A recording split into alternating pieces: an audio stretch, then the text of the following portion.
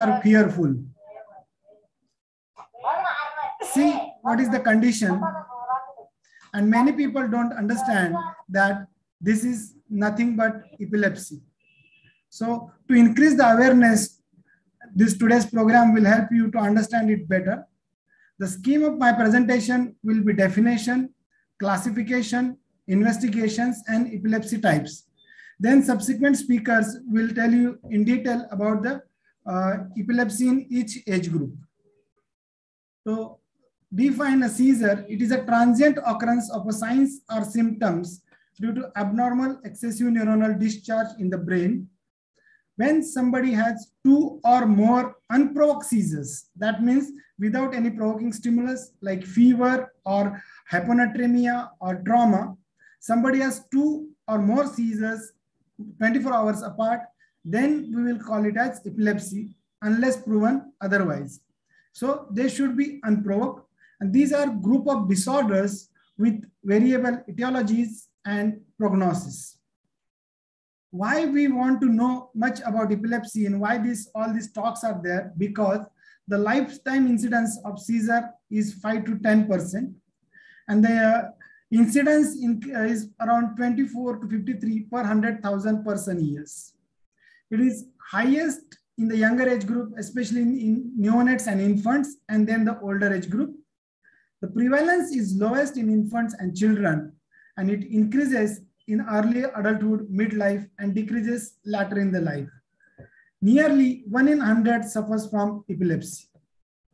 So why, what are the difficulties in diagnosis of epilepsy? Because as we know, epilepsy is a clinical diagnosis and it depends on the eyewitness, which most of the times are not available or unreliable. Then the phenomenon of epilepsy is episodic. There are no physical signs, so we can't uh, definitely say this is epilepsy or not.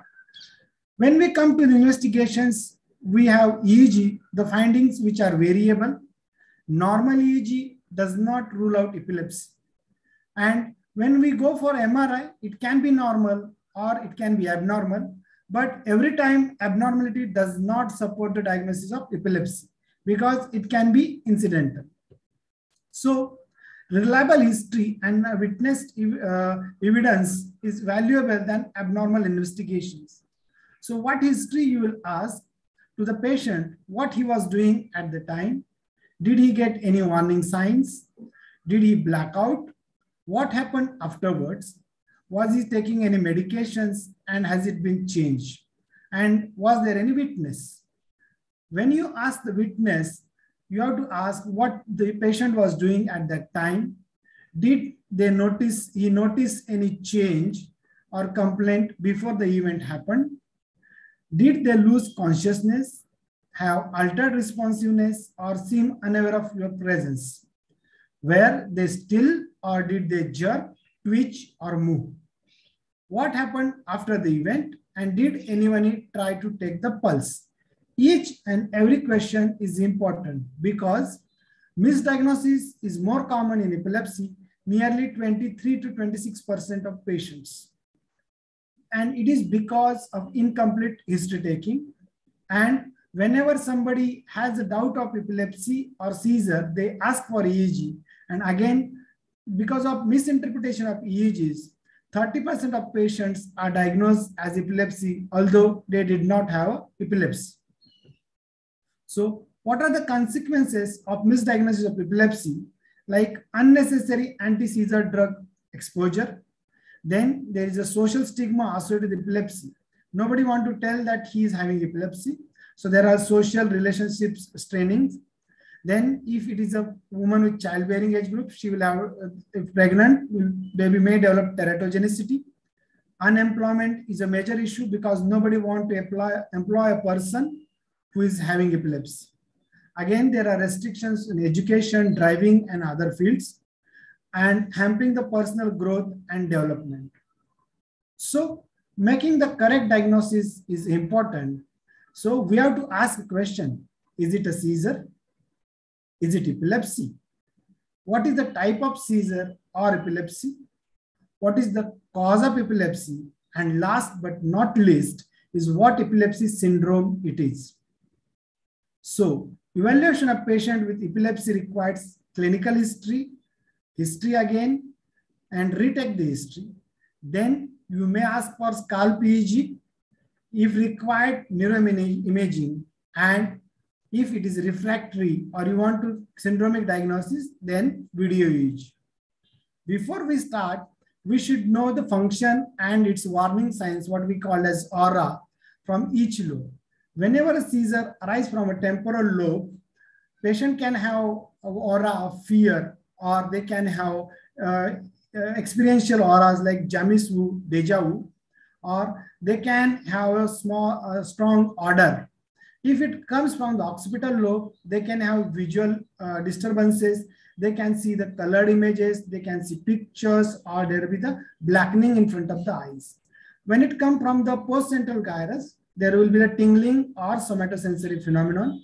When it comes from the frontal, it may be associated with focal motor, like there may be the jerking of the hand, or there may be the facial grimacing, and there may be other autonomic symptoms, especially sweating, flushing, pallor, and epigastric sensations, which can be present.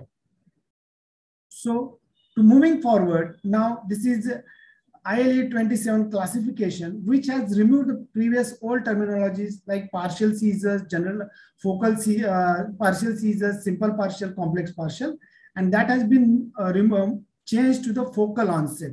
So it can be focal aware seizure that is a previously simple partial or focal complex partial that is with impaired awareness.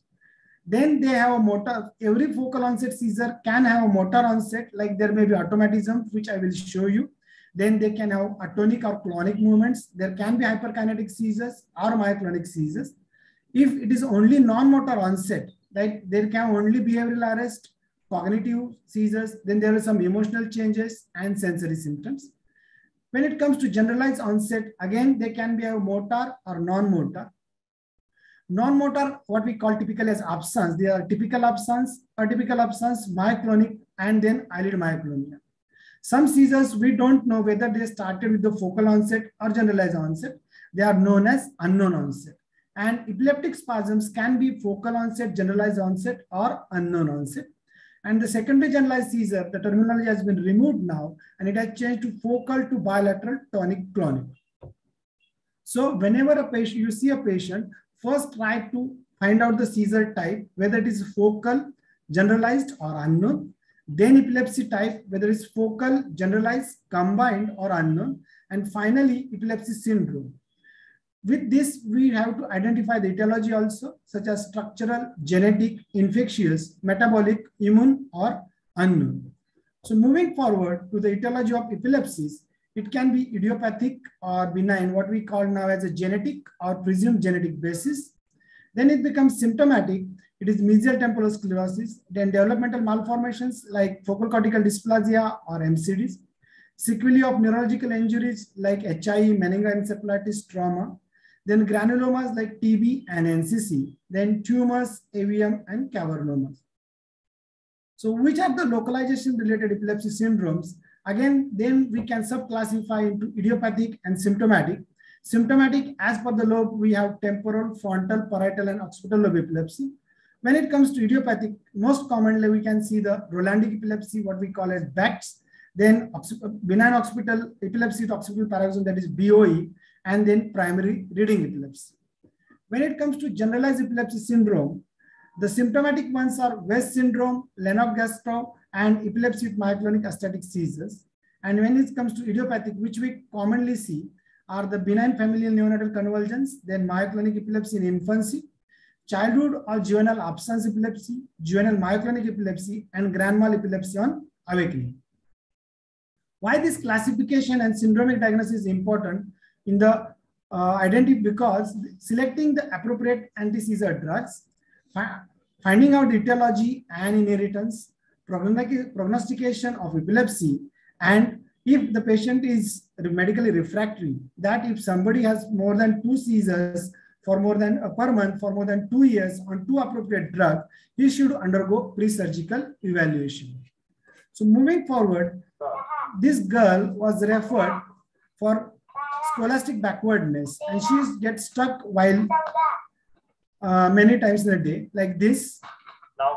So she just blinks and there is a stare or what you can say arrest, behavioral arrest. And then she recovers and she resumes her work. So she was absent during this period in the what we call. So this is typical of absence seizure. And EEG shows typical three hertz generalized spike discharges. This is more common in childhood age group. Then this boy, again, if we see, he is doing hyperventilation. So this is the uh, common activating procedure which we use in the OPD to induce the seizure. And commonly we get absence seizures. So suddenly he stops, he start blinking. Again, there are jerks of his neck and then there is a shoulder jerks and then he falls down. So this is not a typical absence. We have this absence with myoclonus. So this is myoclonic absence. Moving forward from like absence to generalized epilepsy, this is a 23 year male who had seizures from 14 years of age, sudden onset of dropping of objects from the hand early in the morning, and then GTCS, mostly related to sleep deprivation and watching the television started on phenytoin and had worsening of the seizure. So if you look, he has this first jerk, then the second jerk, which is what is myoclonus. Then there is vocalization. Then there is a tonic posturing. So each seizure is different. So patient can have myoclonus only. They can have tonic seizures now there are clonic jerks. They can have clonic jerks only and then can have tonic clonic. So this is a patient who is a classical example of myoclonic epilepsy with tonic clonic convulsion and he is suffering from JME which worsened with the precipitant factors. This EEG shows the correlate with the myoclonus and generalized onset and as he was inappropriate drug and he was, because of that he was refractory. When it was changed to valproate, he improved. We learned detail about this when we uh, you will hear the subsequent talks. This is another girl, six year, seizure since three years. She had aura of fear with followed by behavioral change, right hand movements, then chewing movements, and she speaks during a seizure. So most of the time these were used to miss and sometimes it, she used to get hit from the teacher because she's misbehaving in the class. She was on two drugs, and if you go for previous classification, she's suffering from complex partial seizures temporal, and if it is then what we call it as non-motor onset focal seizure with impaired awareness. So if you look at this girl, she was sitting very quiet, and most of her seizures were missed why they are missed? Because she never had GTCS and we have a habit of calling each and every seizure as a GTCS. She was sitting quietly, fiddling with her left uh, great toe. Suddenly she opens the eyes. There is a change in behavior. She makes fists of her hand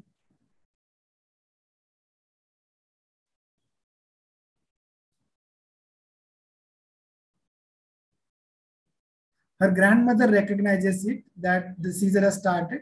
Now look carefully at her left hand, which goes in the dystonic posturing. Look at her face. She's making chewing movements, what we call a chewing automatism. She had a left hand dystonia. She looks to the left.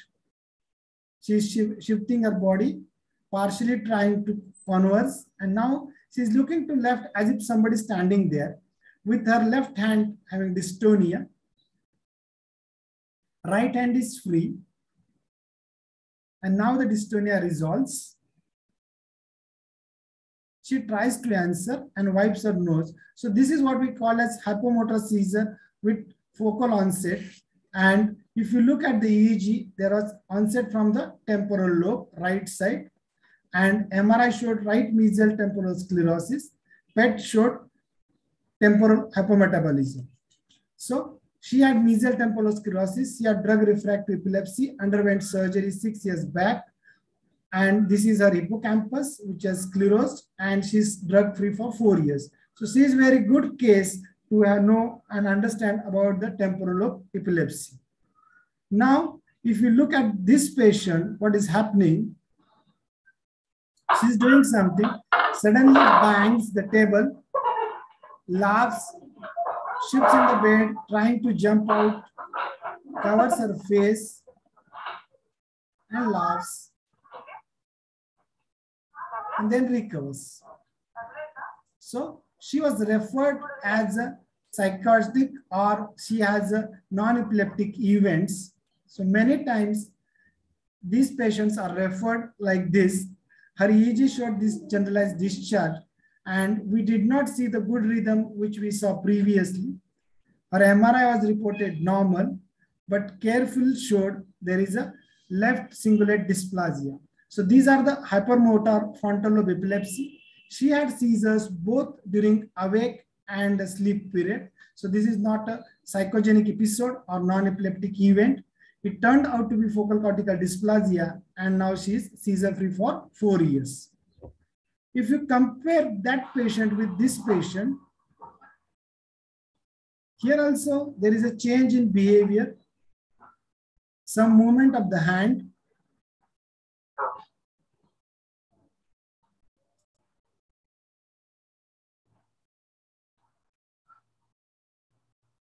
Her husband recognizes that she had a seizure.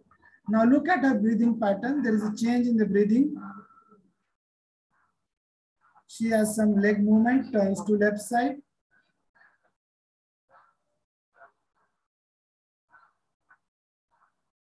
Now the breathing respiratory rate has increased.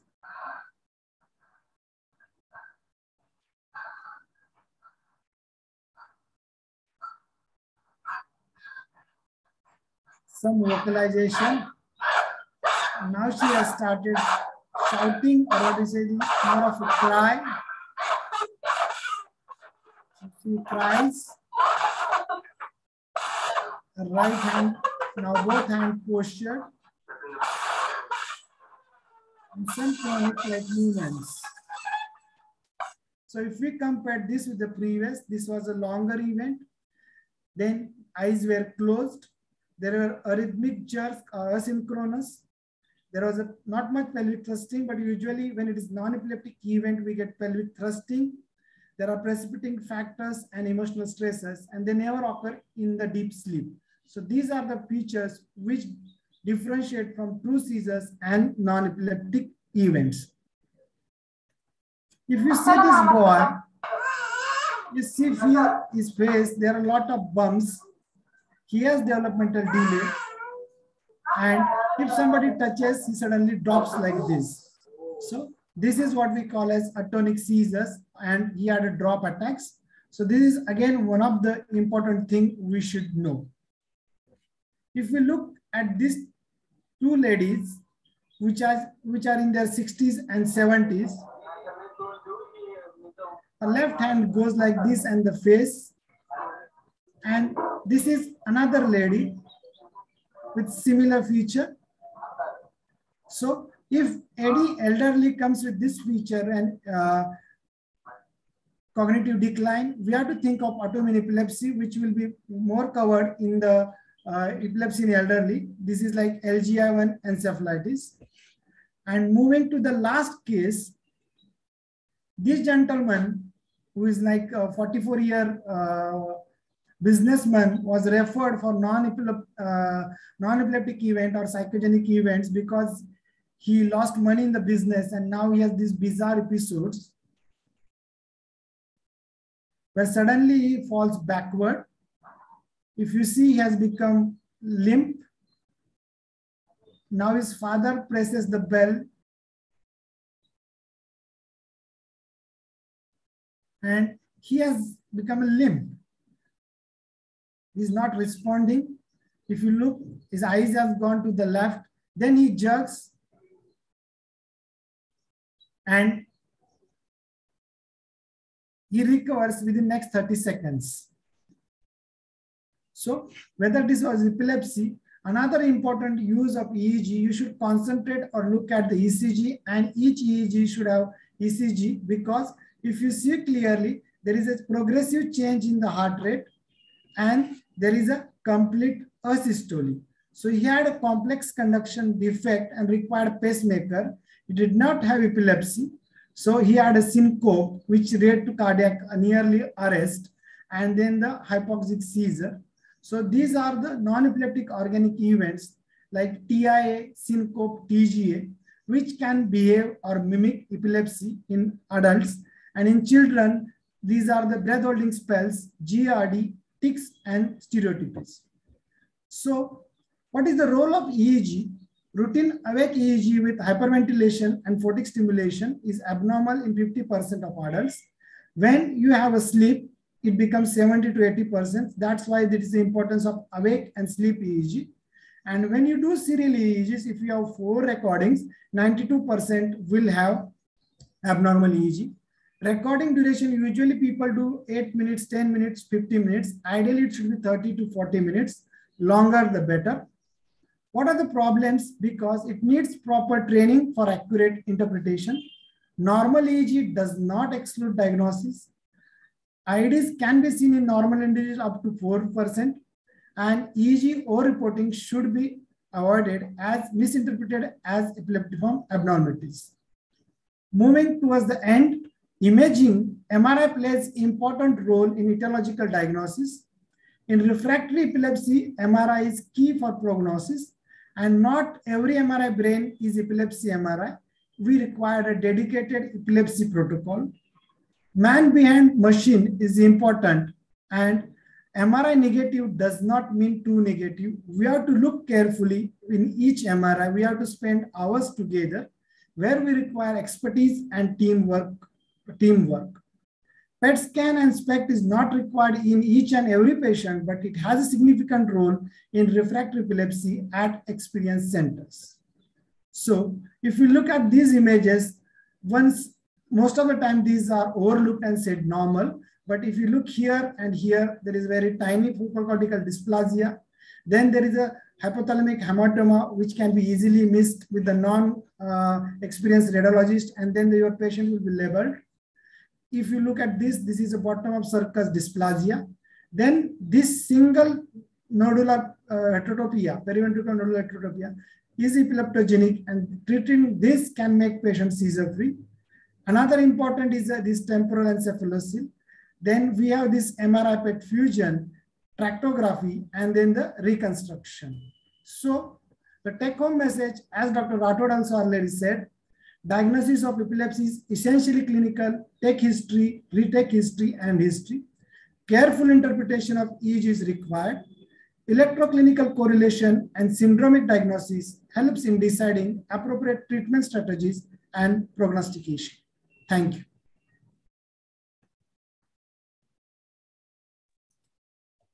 Uh, thank you. Uh, thank you so much, Sujit, uh, for setting the ground and um, uh, describing the clinical approach to epilepsy and the wonderful videos which were really illustrative of uh, uh, how do we approach patients with seizures and epilepsy. Uh, we go on to the next talk. We would be taking the questions and answers towards the end, and there would be a discussion towards the end. So please stay back, and uh, we go on to the next talk uh, by um, none other than Professor Dr. Rajesh Udani, a great friend, and probably one of the most astute clinical pediatric neurologists, at least as I have ever come across, and perhaps uh, in the world. I, I, I, have absolutely no doubt uh, uh, when I'm making that statement because I have seen and interacted with him uh, both as as a clinician, as uh, professionally, as well as a friend, and and uh, all these interactions have been really really wonderful. So I think there can be no better than uh, Dr. Rajesh Udani to give an overview of uh, the pediatric epilepsy scene and how do we approach patients, children with seizures and epilepsy. So over to you, Dr. Udani. Thank you. Thank you, Gagandeep. Uh, it was very kind of you to say such nice words about me. And th thank you, Dr. Nirmal and Dr. Tiwari, for inviting me to this, uh, to this uh, very uh, good conference on uh, epilepsy for, I think, physicians and practitioners who don't deal specifically with neurology. I'm just going to share my screen now. I'm going to concentrate on how pediatric epilepsy, oh God. Can you share? Can you see my screen?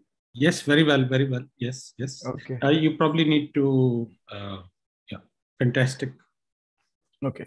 So I'm basically going to just tell you how is it different from adults, the approach, and I'm not. I'm I'm going to just touch upon, uh, you know, strategies which are basically used for in surgery, like surgery, etc. Because that's really drug-resistant epilepsy, and most of the epilepsy which we see in the clinic is not, thankfully, drug-resistant. My goodness. Huh. So as as uh, uh, Dr. Jagtap has already told you, the prevalence of epilepsy is not the highest in kids, but the incidence is. There are two peaks. One is in the early uh, period, below the age of, say, three or four years, maybe a maximum in the first year. And later on, the prevalence, of course, is very high. The incidence is very high in the elderly. And I think the, the conference is basically going to show these two extremes because that's where epilepsy really occurs. Now, first thing you approach is, are these really seizures? And there are lots of differences between kids and adults. And I'll just show you a few videos, you know, in detail. For example, this is a newborn who's having these kind of myoclonic movements only in sleep. And this is really benign neonatal sleep myoclonus. It doesn't occur when the child is awake. This is a baby who's having this shuddering and, you know, he shudders. It looks like he's having an infantile spasm, but actually it's not at all. It's just a habit, a stereotypy, which many babies and uh, uh, you know over the first year of life have.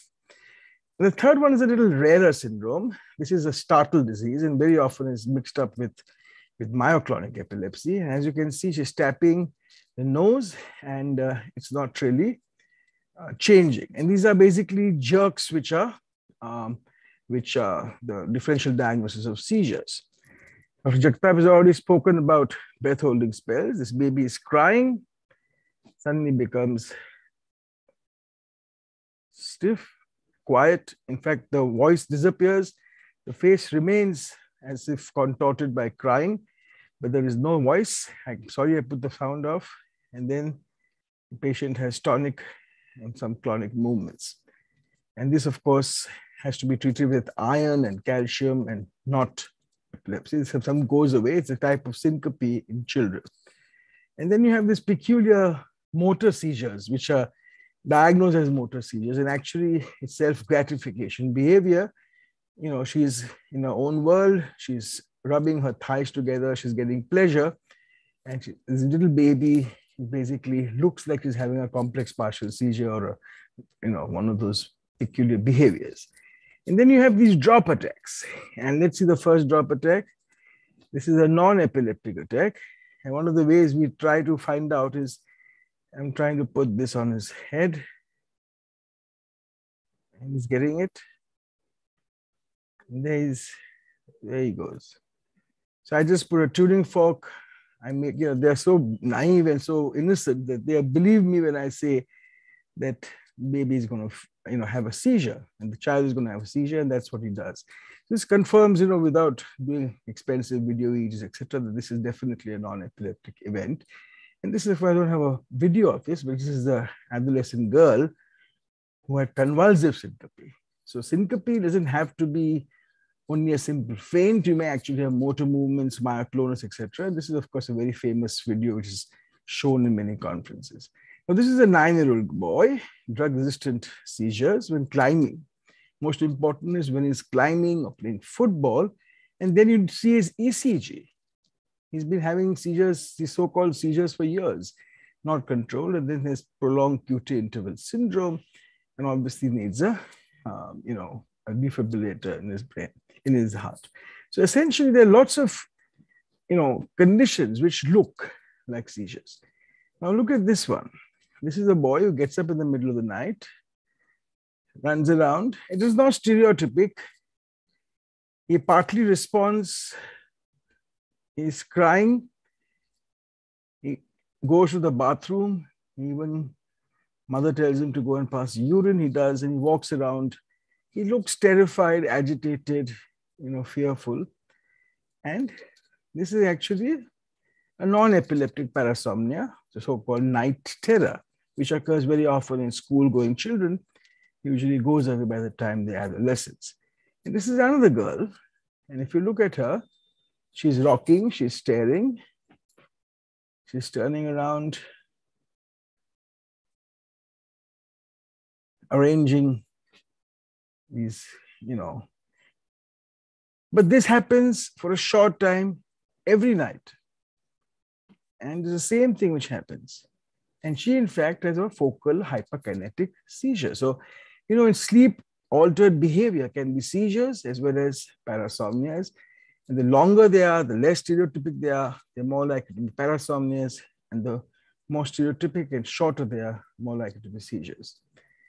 And this young boy was basically having this uprolling of the eyes, is thought to be seizures, giving treatment.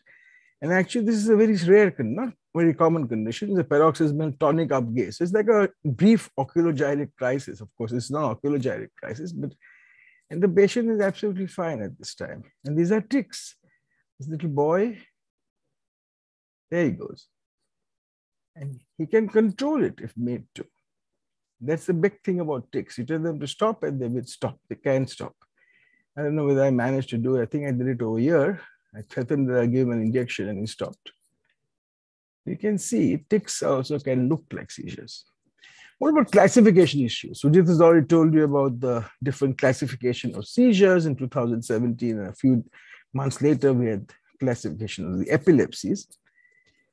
Now, how is the pediatric, what, how is this benefit of? So I think the most important thing is in the spasms. Now we have a separate type called epileptic spasms, which are focal, generalized epileptic spasms, and even sometimes when we don't know the onset.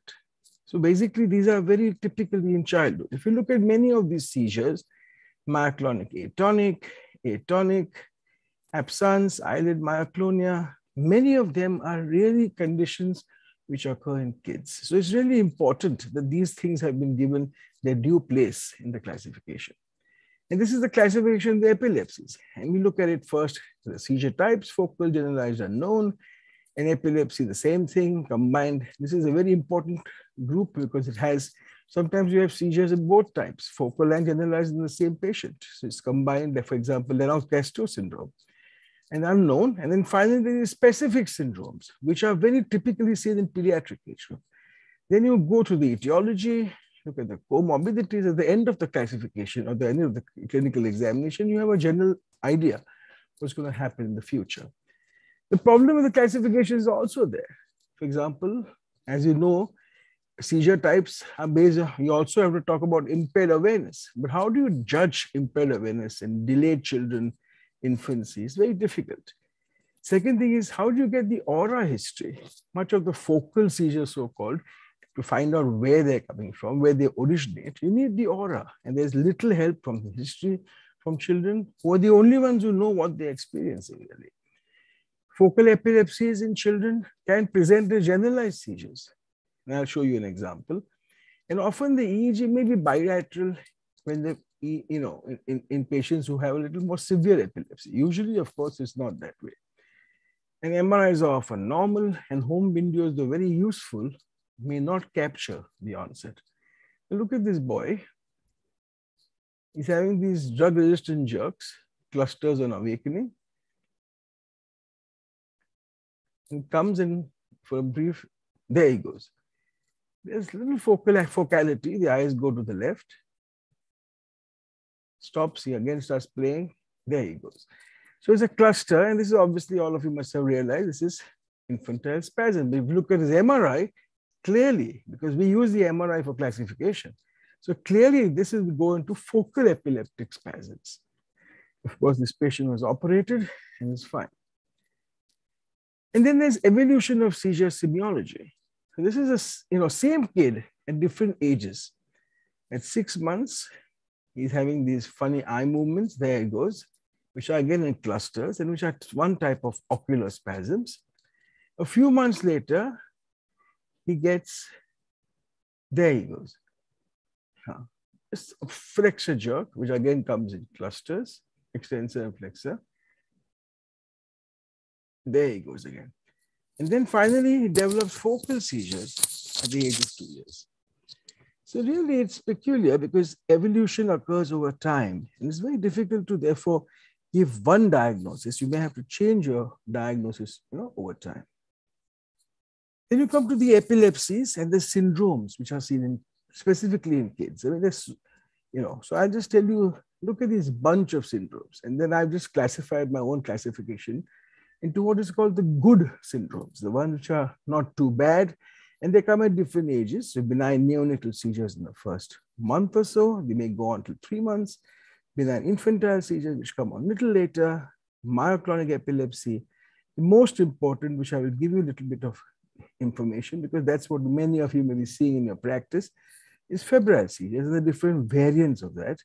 And then the others important ones are self-limiting focal epilepsy, childhood absence, and the idiopathic generalized epilepsies. And then you, luckily, most of you don't deal with these horrible conditions like epileptic spasms and Dravet syndrome and LGS and not so good, I would say, and difficult. This is the ones who are referred for treatment.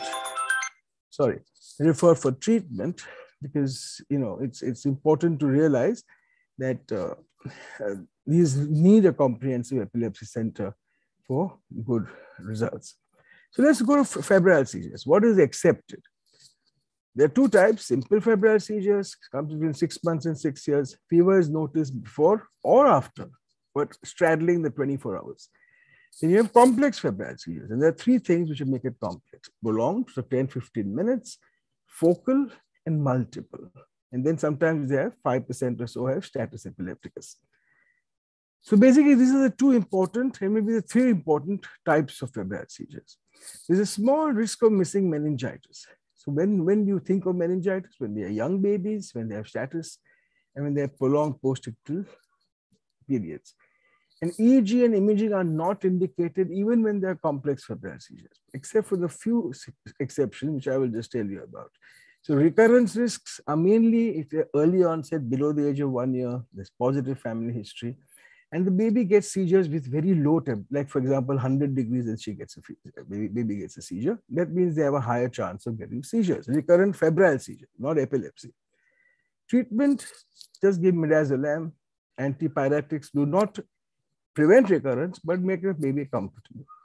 Midazolam nasally is the most useful in our, in our setting. And intermittent benzodiazepines, typically clobazam, can be used just for if the mothers are very, very anxious. Long-term treatment never used generally. And if there's a status epilepticus and it's febrile, try and avoid phenytoin and other sodium channel blockers because they don't work most of the times in febrile seizures. Then you come to the generalized epilepsies. Okay, and I, these are many of the good ones and some of the bad ones. So this group, of course, is what many of you will see: juvenile absence, myoclonic, generalized tonic-clonic seizures, which are usually adolescent onset.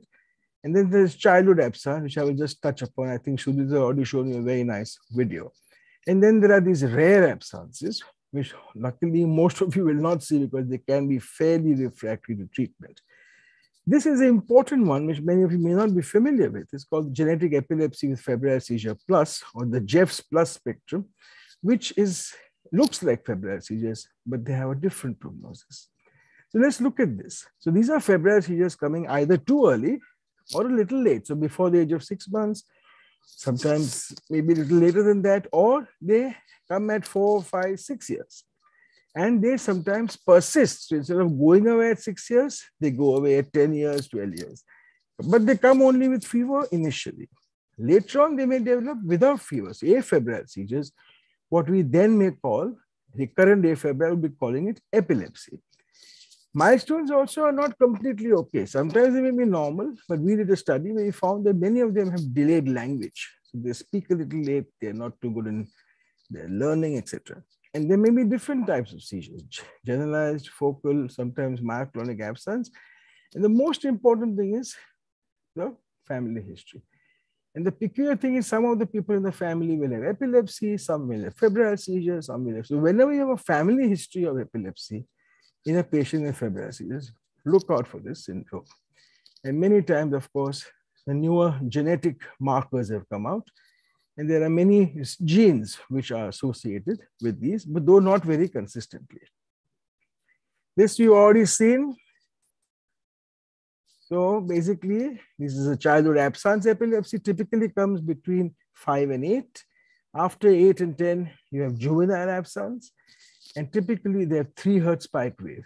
And these are the nice types of epilepsy to have. Most of them go away fairly uh, easily in about two years. They respond very well to treatment. But the problem is, what do you treat it with? Everybody uses valproate, but actually speaking, ethosuximide, which is now available in India, is the first choice. The valproate and ethosuximide are equally effective. If adverse events, we are much more with valproate, hyperactivity, etc. So you should try and use ethosuximide first, unless the patient has generalized tonic-clonic seizures as well. The third medicine, which is very useful in refractory cases, is lamotrigine, but that is hardly ever used in the initial. And this you already see the nice video of generalized, you know, photosensitive myoclonic seizures of the upper limbs mainly in the adolescent girl and you get these polyspike discharges, typical myoclonic epilepsy. And these are a spectrum. You may have myoclonus, you may have absence, you may have generalized tonic-clonic in the same patient, you may have separate. So that's the way you look at it. And if you look at the treatment, I mean, we know that the old study of SANAD, which is 2007, Valproate still remains the most efficacious as compared to lamotrigine and topiramate. Uh, 19 is compared to levetiracetam and still remains most efficacious. So it is definitely the best drug to use, but the problem is in adolescent girls and young women with this, we avoid valproate, primarily because of endocrine effects, the teratogenicity in, in pregnancy, etc. And we try to use lamotrigine. And then the other ones which come up are topiramate, zonisamide, and recent addition of perampanel, which is a new drug, which is used in drug-resistant IGEs. And then you have the self-limiting focal epilepsies. This is a young boy, gets up in the night, he's having seizures around the mouth. He's having twitching, but you may have drooling, you may have you know, any way to talk. He's fully conscious, but he can't speak. And this is BECTS, typically has this seizures from the central IEDs from the central temporal regions with massive sleep activation, sometimes can become pretty bad. I'll show you an example. Or you have the Panayotopoulos syndrome, what I think um, uh, talked about as benign occipital epilepsy. Now it's called self-limiting focal epilepsies from the occipital region. And this kid gets up, he's awake, he's answering his mom. And he keeps, I just show you, he keeps looking to the right, says he's got a headache. Sorry, it's gone off. Then he vomits, and I think that's why they lost the video. So these patients who get up in the night, look at the right side, vomit, and look to one side, start vomiting. Remember, there may be actually this particular syndrome because they don't really get anything else. And the same group of conditions occurring in adults and in sorry older children is called the Gastaut syndrome where you see these colored balls. This is exactly what a kid has actually drawn what he sees. So you may see these different colored balls they come abruptly. And the main way of differentiating from migraine is the way they come abruptly. And the fact that they are colored. Migraine auras are usually black and white. And then you have the bad epilepsies the bad syndromes. And of course one is this particular baby who's got, oh God, sorry, I'm just hanging. Okay, I was going to show you a spasm. Let me see if I can go back. Not playing. Okay, well, the spasms, I already shown you one uh, spasm. So what's happened to this?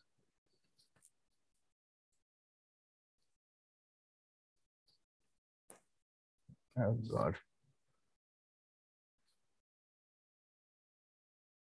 I'm sorry, but this is the first one. The one side is showing a flexor spasm. You can see that the, the evidence of tuberous sclerosis, which is a common part, the hypsarrhythmia, etc.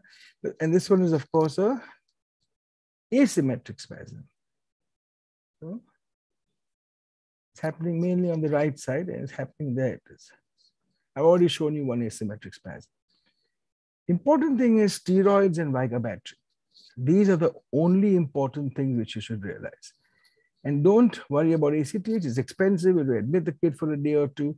But you can use high dose prednisolone as well, four to six milligrams per kilo. It's almost as good. So you use this always in the beginning because it's the best thing to prevent mental retardation, which can follow later. And vigabatrin is the second drug. Of course, in tuberous sclerosis, you use it first. Otherwise, it's the one which you use second, or you can use it together. And there are many others. Important thing is the ketogenic diet, which I'll just touch upon, but it's very useful in refractory spasms. Let's look at another bad syndrome, the Dravet syndrome, which is a type of Jeff spectrum. So it's the worst type of the GEFS spectrum. So this is earlier seizures, all febrile, usually complex, focal, and they have photosensitive seizures, which come in the second year. It's triggered by anything hot. So fever, infection, hot baths, weather, etc. So avoid all those things in treatment. And initially they look normal. They look absolutely normal kids, but they have a horrible prognosis. It all goes south in the second year, third year, and then they develop all sorts of things and doesn't really stop. And one of the reasons worsens is because of sodium channel blockers. And these things are very important. This can actually worsen them. So we may actually worsen the prognosis. These three drugs, stiripentol, cannabidiol, which is a derivative of marijuana, and fenfluramine are all specific drugs, but we don't have them available. So we usually use the common ones like valproate, clobazam, topiramate, and zonisamide. And again, here, the ketogenic diet may help. So there are many things you can do, but the prognosis is not good. Like I said, this is the GEFS plus spectrum. Again, the sodium channel mutation, and SMEI is the other term, the older term for Dravet syndrome.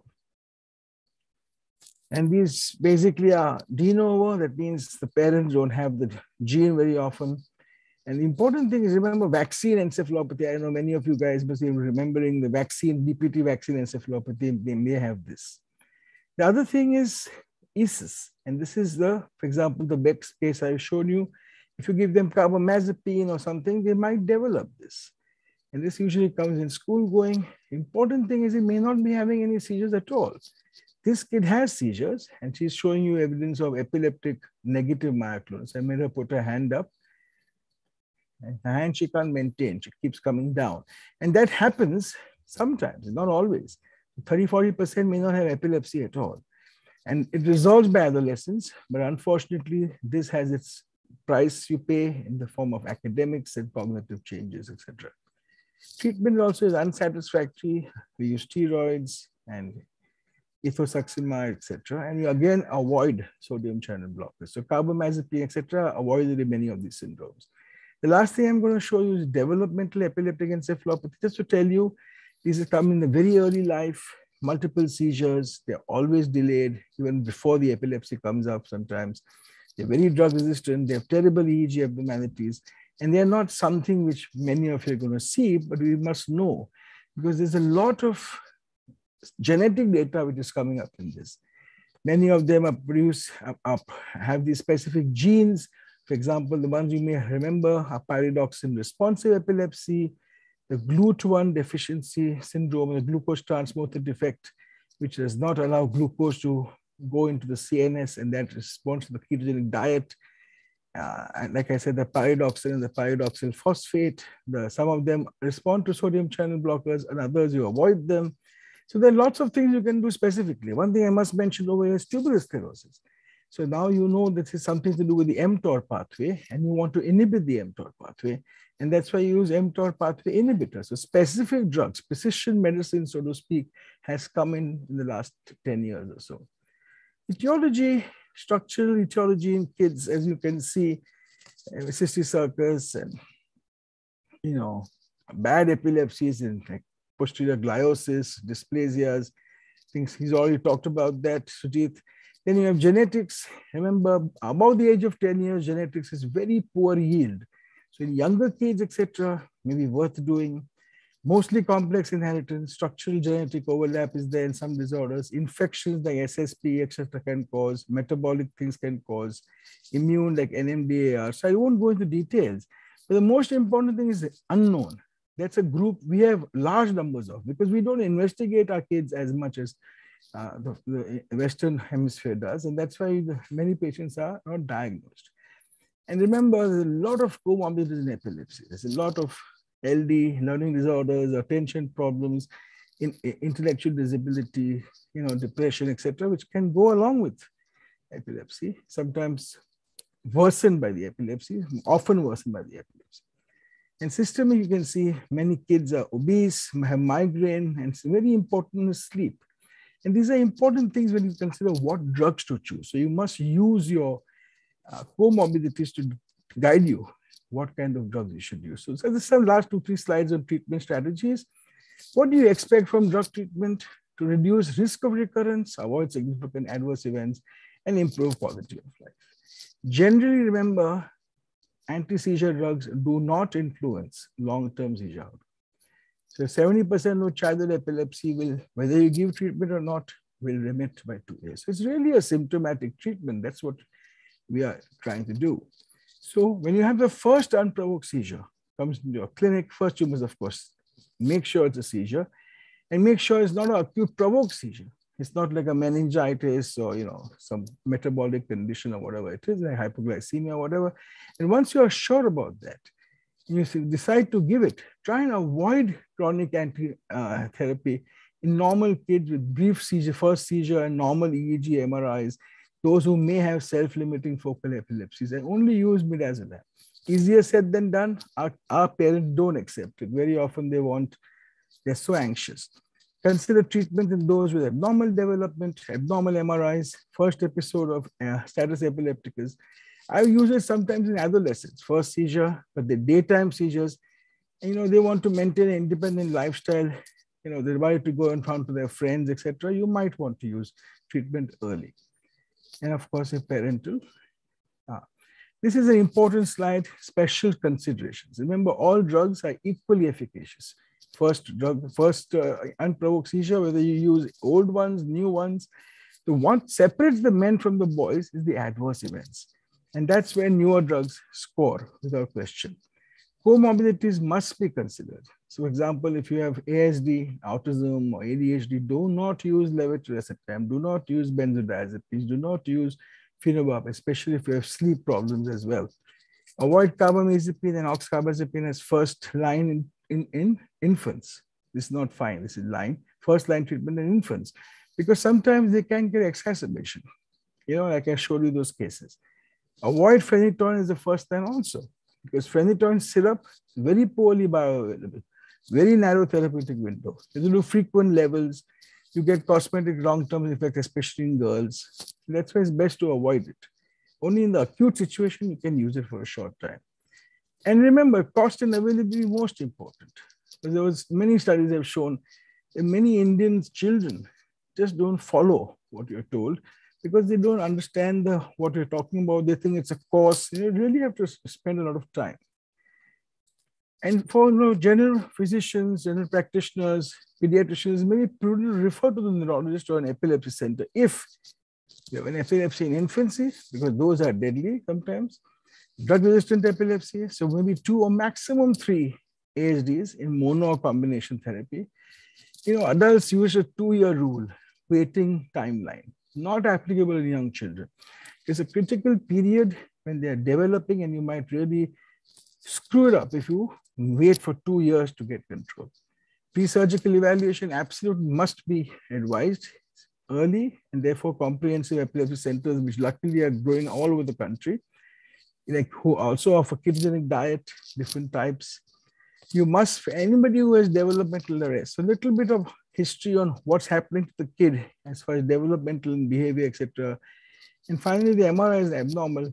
Best is to send it to a neurologist or epilepsy center. The summary is epilepsy in kids are different in many aspects. physiological movement disorders, more often seizure mimics in young children rather than psychogenic and non-epileptic movement disorders. Age-related syndromes are typically seen in children. Effects on development and school performance are absolutely critical, especially in drug-resistant epilepsies, because this is all happening during the critical period of development, first five years of life especially. Genetic testing, high yield when you have bad epilepsies in infants and children you don't need to do it in kids with mild epilepsy or older kids. Just avoid it. And the threshold for referral to a center should be low. Pre-surgical and non-drug therapies where they can take advantage of them. And remember, these things very often, comorbidities sometimes become more of a problem later in the seizures. Thank you very much. And um, uh, I invite you to the Hinduja National Hospital when any of you visit Mumbai. Thank you. Thank you so much, uh, Dr. Udani, for such a wonderful talk and taking us through the entire spectrum of uh, pediatric epilepsy and all the types of different ep epilepsies and in such a short period of time and so lucidly. So, as I said, the questions are, uh, of course, uh, at the end. Uh, and it is my pleasure to invite the next speaker, uh, Professor Sita Jayalakshmi um, from the Krishna Institute of Medical Sciences.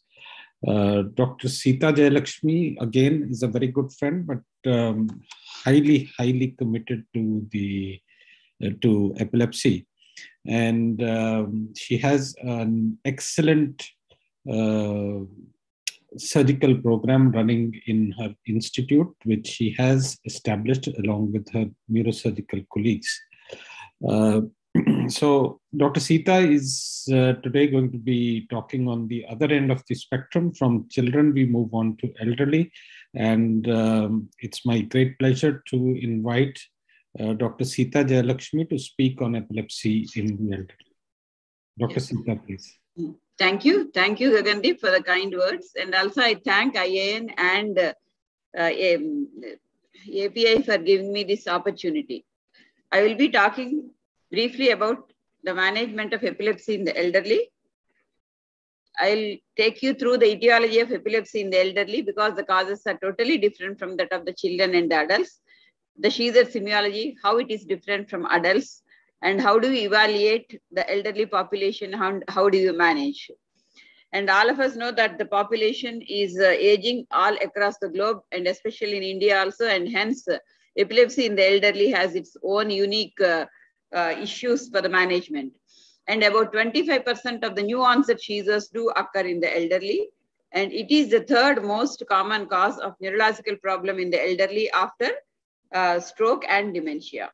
And uh, so it's very important because any sudden unexpected seizure in elderly is associated with poor quality of life affecting their health status, functional independence because of the aging already they have a lot of issues and hence it is the safe and effective appropriate management of epilepsy in the elderly based on the comorbidities. That's very important in the management. If you look at the incidence and prevalence of epilepsy in the elderly, it varies between, normally if you see the incidence is about 0.7% in the age of 55 to 64. Elderly means usually the definition is 60 years or above 65 years in uh, based on the various studies. So if it is 0.7%, if it is in the fifth decade, by the time it is, uh, they are 88th and 9th decade, it reaches to 1.2%, means one in every 100 will develop a seizure. And if you look at the longitudinal changes in the incidence of epilepsy from 1986 to 2002, there is no significant change. If you see the epilepsy in the elderly is almost, uh, um, mean, the graph is similar in both the ages and about 25% of the new onset seizures occurred after the age of 65 years of age. Then what are the etiologies of epilepsy in the elderly? The commonest cause of seizures in elderly is stroke, which is responsible for almost nearly uh, two-thirds of the cases. If you see the red color indicates the vascular etiology. This is followed by, uh, because most of the stroke patients uh, do develop a gliosis and they develop post-stroke epilepsy. We do not cause the acute seizures associated with the stroke as epilepsy. We call them as acute post-stroke seizures. And then the other etiologies include tumors, metabolic and toxic etiologies, traumatic, inflammation, and dementias. So the evaluation of these patients uh, is very important, but one should really know that all falls in elderly are not seizures because they have many other issues. So whenever somebody comes with an episode of loss of consciousness, we should not label them as epilepsy uh, because syncope is very common in elderly, which may be because of underlying cardiac conditions like arrhythmias um, or because of associated uh, valvular disturbances or even associated ischemic heart disease. or most importantly, elderly can have orthostatic hypotension leading to syncope episodes followed by sometimes following syncope, some convulsive movements may be there. And then only we should live, once we rule out all this by a very good history, one should be able to identify whether it is epilepsy. And most important is psychogenic epilepsies are not uncommon for elderly, which are seen in up to 3% of the cases in the elderly population. Then, and how do we really, when we are taking the history, uh, the key important things I have highlighted in the red color, the premonitory symptoms like aura are not uncommon, but if present, it suggests a seizure. But whereas in syncope, there is a prodrome of lightheadedness and excessive sweating. Whereas uh, the movements in elderly also are not so common, the tonic-clonic movements. If they occur, it helps. But however, uh, they are they are not they are not they are usually uncommon. But the EEG definitely helps, especially if you do within the first 24 to 48 hours, which can show the epileptiform discharges. Whereas syncope is also sometimes syncope can be followed by some myoclonic jerks are some clonic jerks, which should not be mistaken as seizures. And overdiagnosis also is not uncommon in elderly. The reasons for the overdiagnosis is sometimes a transient ischemic like, like sensory phenomena may be mistaken as a sensory seizure. Transient global amnesia has to be differentiated from transient epileptic amnesia. The only way to differentiate is good history where in epileptic amnesia, they do not remember and do not follow the commands, whereas in TGA, they may appear to be normal and also the EEG is abnormal in transient epileptic amnesia. And then other one is the restlessness movements in the sleep may be mistaken for seizures in the elderly. And most important is patients with uh, diabetes suddenly can have episodes of hypoglycemia, possibly leading to a seizure. So then we do not need to treat them uh, continuously. So one should be careful whether it is an acute symptomatic seizure. As I already said, psychogenic non-epileptic seizures kept, should be kept in mind. And in addition, the most important is the cardiovascular syncope or orthostatic hypotension, arrhythmias, or the structural like uh, hypertrophic cardiomyopathies leading to syncope episodes which should not be mistaken for um, uh, seizures. And among the sleep disorders, most important is obstructive sleep apnea, where there is accumulation of the carbon dioxide, which may sometimes precipitate a seizure. And also the hypnic jerks may be mistaken for seizure. So one should be careful. And also one should be uh, always taking uh, the good history for what are the drugs which are being taken. Recently, we had a patient who took tramadol and immediately developed a unconsciousness with some jerky movements. So drugs can cause seizure-like phenomena or a confusional state which can be mistaken for seizures. So one should be very careful about this, especially the antidepressants can cause uh, this in addition to analgesics uh, like uh, uh morphine related derivatives. And underdiagnosis is also common in elderly because most of the time uh, the children uh, go to work and they will be living alone without an eyewitness when they become suddenly unconscious or they may be having cognitive issues and may not be able to come out with the history carefully. And by the time we see uh, the patient may be only having a confusional state, which may be because of the post-ictal state or they may be, it may be because of the non-convulsive phenomena occurring or it may be due to associated, for example, you can have a seizure in the setting of hyponatremia, uh, which can cause, uh, uh, which can aggravate the seizures. The etiology may be different. It may not be because of hyponatremia and memory disturbances, because especially those who have dementia may not be able to give a proper history about aura and what happened. And sometimes post-ictal psychosis also do uh, occur and it can uh, complicate the picture. In such cases, the most important is the electroencephalogram. So what is the seizure semiology? That is the features of the seizures in the elderly. The, if you see the yellow color depicts the focal impaired awareness seizures. That is nothing but the patient will be uh, staring uh, and uh, confused or uh, some and followed by the motor seizures, which are seen in 25%, where you have motor movements. So if you and then uh, some seizures are only focal aware, means that is something like a focal uh, partial seizures. So if you see here, the tonic-clonic seizures are seen in only one fourth of the cases. Uh, and in addition, as I already said, uh, in, in a video EEG study, one third of the patients had non-epileptic uh, events. And the classic aura may not be present. Automatisms and GTCS are less common in the elderly. So if you see, when this is a video EEG based study uh, where when the elderly are compared with young adults, uh, in this um, uh, review article, the epileptic auras are more common in young people. Confusion is more common with elderly, but not in the young. Multiple phases of evaluation evolution are common with uh, uh, young adults. Generalized tonic-clonic seizures are more in young than elderly. And post-ictal sleepiness or unresponsiveness is more common with the elderly. And most of the time, so they come with sudden episodes of loss of consciousness. When we evaluate cardiac, everything will be normal. And in such conditions, definitely we should consider whether it is a seizure. So this is a 78 year old uh, uh, gentleman who presented with these episodes occurring frequently. He is tapping his right hand, shouting some oral automatisms. Then posturing of the left hand and he turned his head and eyes towards the left side.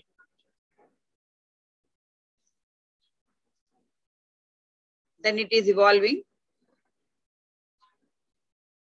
And now the seizure is over.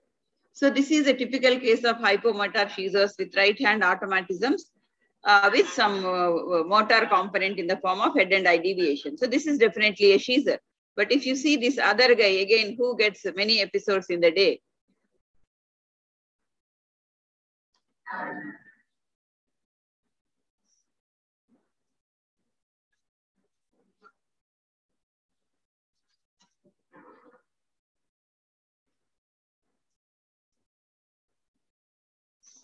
So he gets sudden movements of the hands and the legs with restlessness. Actually, this turned out to be a non-epileptic event. So non-epileptic events do occur even in the elderly. Here it is very brief. The eyes are open. So we were not very sure. So we had to do a video EEG to differentiate between a non-epileptic event and a complex, the hypomotor seizures. Then how do you evaluate these elderly? Definitely very important is good, good clinical history. That is how did the event start? Does he have any premonition? Any aura is present? Any uh, whether he has any sweating to differentiate from our palpitations to differentiate it from the cardiac? And also during the event, we should ask for any automatisms or tonic-clonic movements. And also post-ictally, uh, if there is any tongue bite or urinary incontinence. Urinary incontinence is not uncommon even during the syncope. But if tongue bite is there, definitely it is majorly towards the um, seizure. And after that, we should do a, uh, review the drug history, review the ECG. Everybody with an episode of unconsciousness should undergo because following even a cardiac event, one can have a seizure. So we can we should we must do a good cardiac evaluation with ECG, Holter monitoring, metabolic screening. The basic workup is important. CSF analysis is not required in all the cases. And uh, neurologically, one should do a good interictal EEG uh, possibly for uh, two to three hours. And if it is positive, definitely helps in the confirmation. And VEG, VEG monitoring is required when we are not sure and if the attacks are frequent. And an MRI brain is a must in every um, elderly patient, even after a single seizure. Then coming to the management. What are the management problems? There is a frequent misdiagnosis of epilepsy in the elderly. Uh, then the frequent comorbidities, especially associated strokes, dementia, underlying cardiac conditions, already on multiple drugs, and when you are adding another drug, the patient is very unhappy. And also enhance the risk of adverse drug reactions when we are using the anti-seizure medication. And uh, most of the time, the drugs used are levetiracetam, lamotrigine, or slow-releasing carbamazepine. But at the same time, we should be aware of the pharmacokinetics and dynamics of the anti-seizure medications. So as I already said, underdiagnosis uh, is not uncommon. long post-ictal confusion sometimes uh, makes us uh, get confused. And there is a high morbidity and mortality during the seizures. And also sometimes they can evolve into status epilepticus. Uh, and also there is a high risk of recurrence of the seizures in elderly anywhere between 40 to 90%. And hence even a single seizure must be treated in the elderly and the treatment should be continued. What are the treatment goals? It is achieving the seizure freedom, preserving the independence of the elderly, preventing falls, especially using the drugs which will not affect the bone health and managing the multiple medications. The unique issues are susceptibility to adverse drug uh, effects, as well as pharmacokinetics, pharmacodynamics of the uh, drugs which are used along with the anti-seizure medication because of the drug-to-drug -drug interactions. And in a survey, it has been shown that 50% of the residents receiving anti-seizure medications has at least six or more medications, uh, suggesting the high drug burden in these individuals. As I already said, the comorbidities are depression, strokes, hypertension, gait issues, osteoporosis, associated chronic kidney diseases, and diabetes is almost uh, very common in all the elderly. Then how do you do the patient management? So whenever we are managing, as a rule, the anti-seizure agents which are appropriate for children are mostly appropriate even for the older adults. We should start with very low doses and slowly titrate the medication over a period of at least two weeks. And elderly will be very sensitive to adverse effects because already they have a co cognitive reserve is less. So we should use drugs which will not affect their cognition, will not cause significant ataxia, and also drug toxicity. So what about managing the single seizure in the elderly? As the risk of recurrence is 40 to 50%, everything, even after a single seizure, one should start them on anti-seizure medication because of high risk of recurrence. What is the evidence we have from the literature? in the UK lamotrigine study, study, it has been shown that lamotrigine is accepted as an acceptable choice for the initial treatment of elderly patients with newly diagnosed epilepsy. Then what about the use of AED in the elderly? Uh, it, so the, the, what is evidence available is that whenever lamotrigine was compared with carbamazepine, there is no difference in the retention rate or the side effects. But however, what about levetiracetam, which is widely used?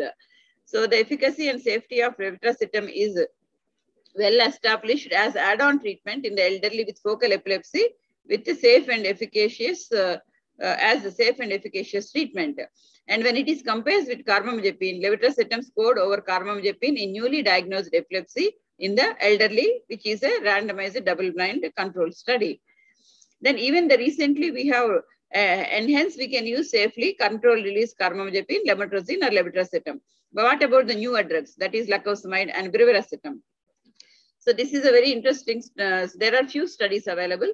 Um, so when, whenever lacosamide was used, uh, it, it, has been found that the efficacy and tolerability of lacosamide as monotherapy was favorable even at low doses in older patients compared to levetiracetam uh, during a long-term uh, uh, treatment. Long levetiracetam was used in almost 1000 milligrams plus, whereas levetiracetam with 200 milligrams.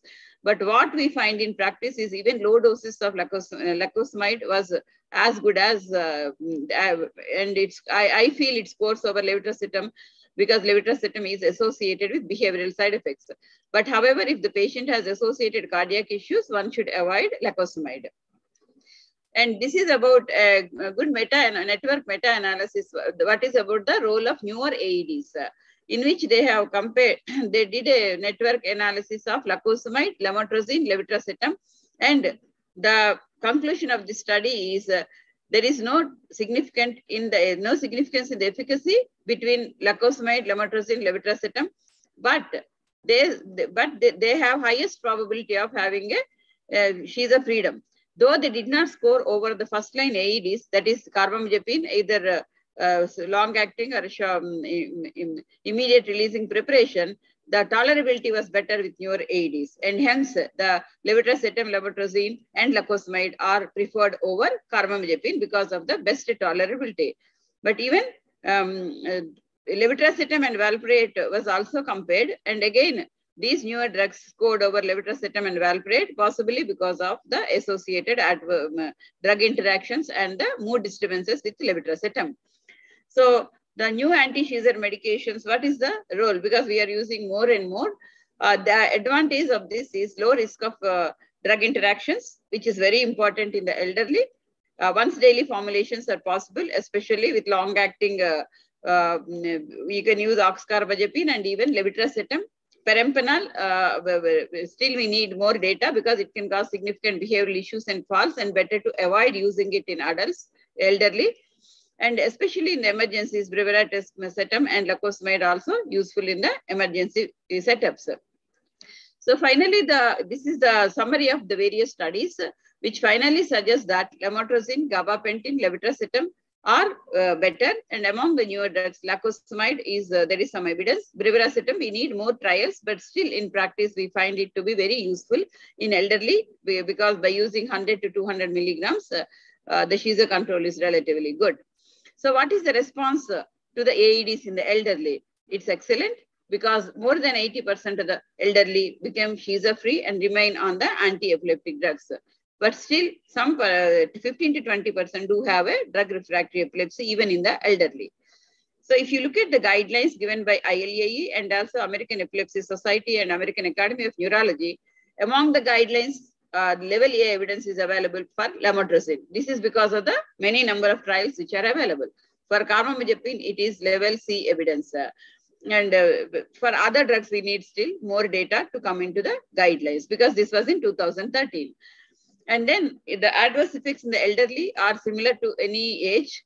Uh, more important is nowadays we do not use phenytoin much because of the effect on the cardiac conduction disturbances, cognition, and also CNS side effects. Carbamazepine in low doses, is useful. Valproate, more side important side effect is it causing tremors in the elderly who already may have some baseline tremor and then interaction with the other drugs, especially which are metabolized in the liver. And hence, lamotrigine and levetiracetam are better, but lamotrigine needs to be uptitrated very slowly because of the risk of development of the rash.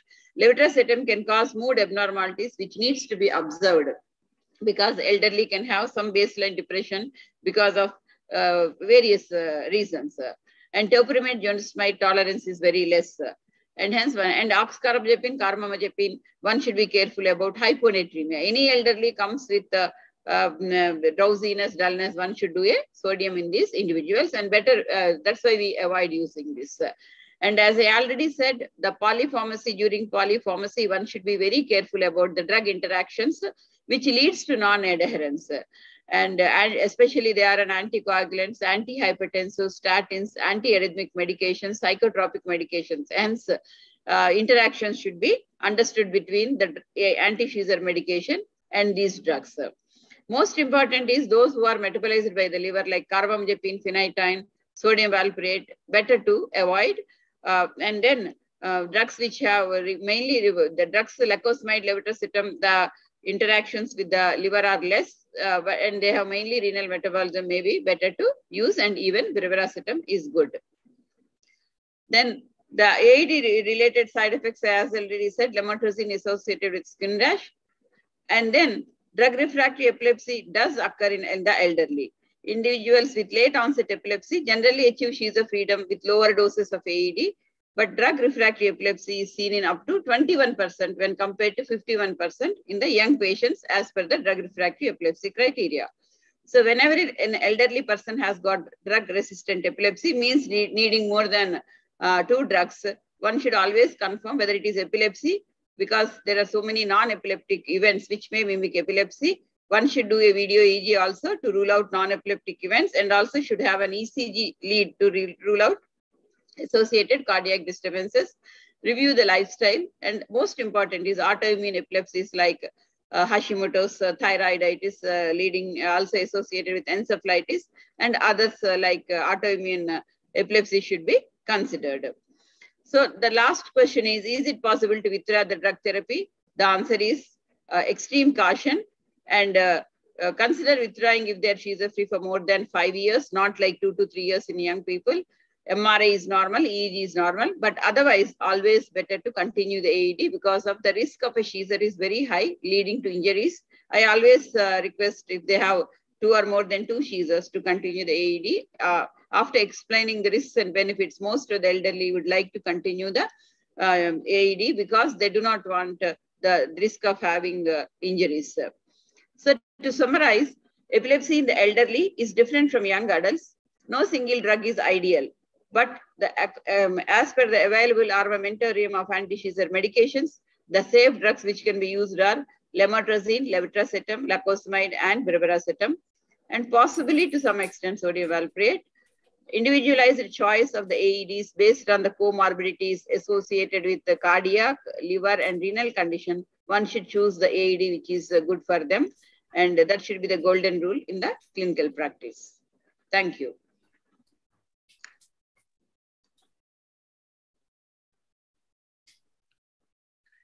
So, thank you, uh, Dr. Sita, for uh, uh, taking us through the challenges of uh, management of epilepsy in the elderly. Uh, and of course, bringing out the salient features, how important it is, how common it is, is something which we often tend to ignore. So thank you very much for this wonderful and very enthusiastic uh, talk. Uh, we go over to the last topic and the last speaker, uh, Professor Sangeeta Rawat, who is uh, the Dean and uh, Professor and Head of Neurology Department at the KEM Hospital, Mumbai. Uh, she is going to be talking on women in epilepsy, which um, this is for the benefit of the audience that it is um, nonetheless an extremely important topic. There are a number of issues which need to be kept in mind and uh, while managing uh, women with epilepsy. And um, I think there can be no other better person than Dr. Sangeeta Rawat to address this important issue.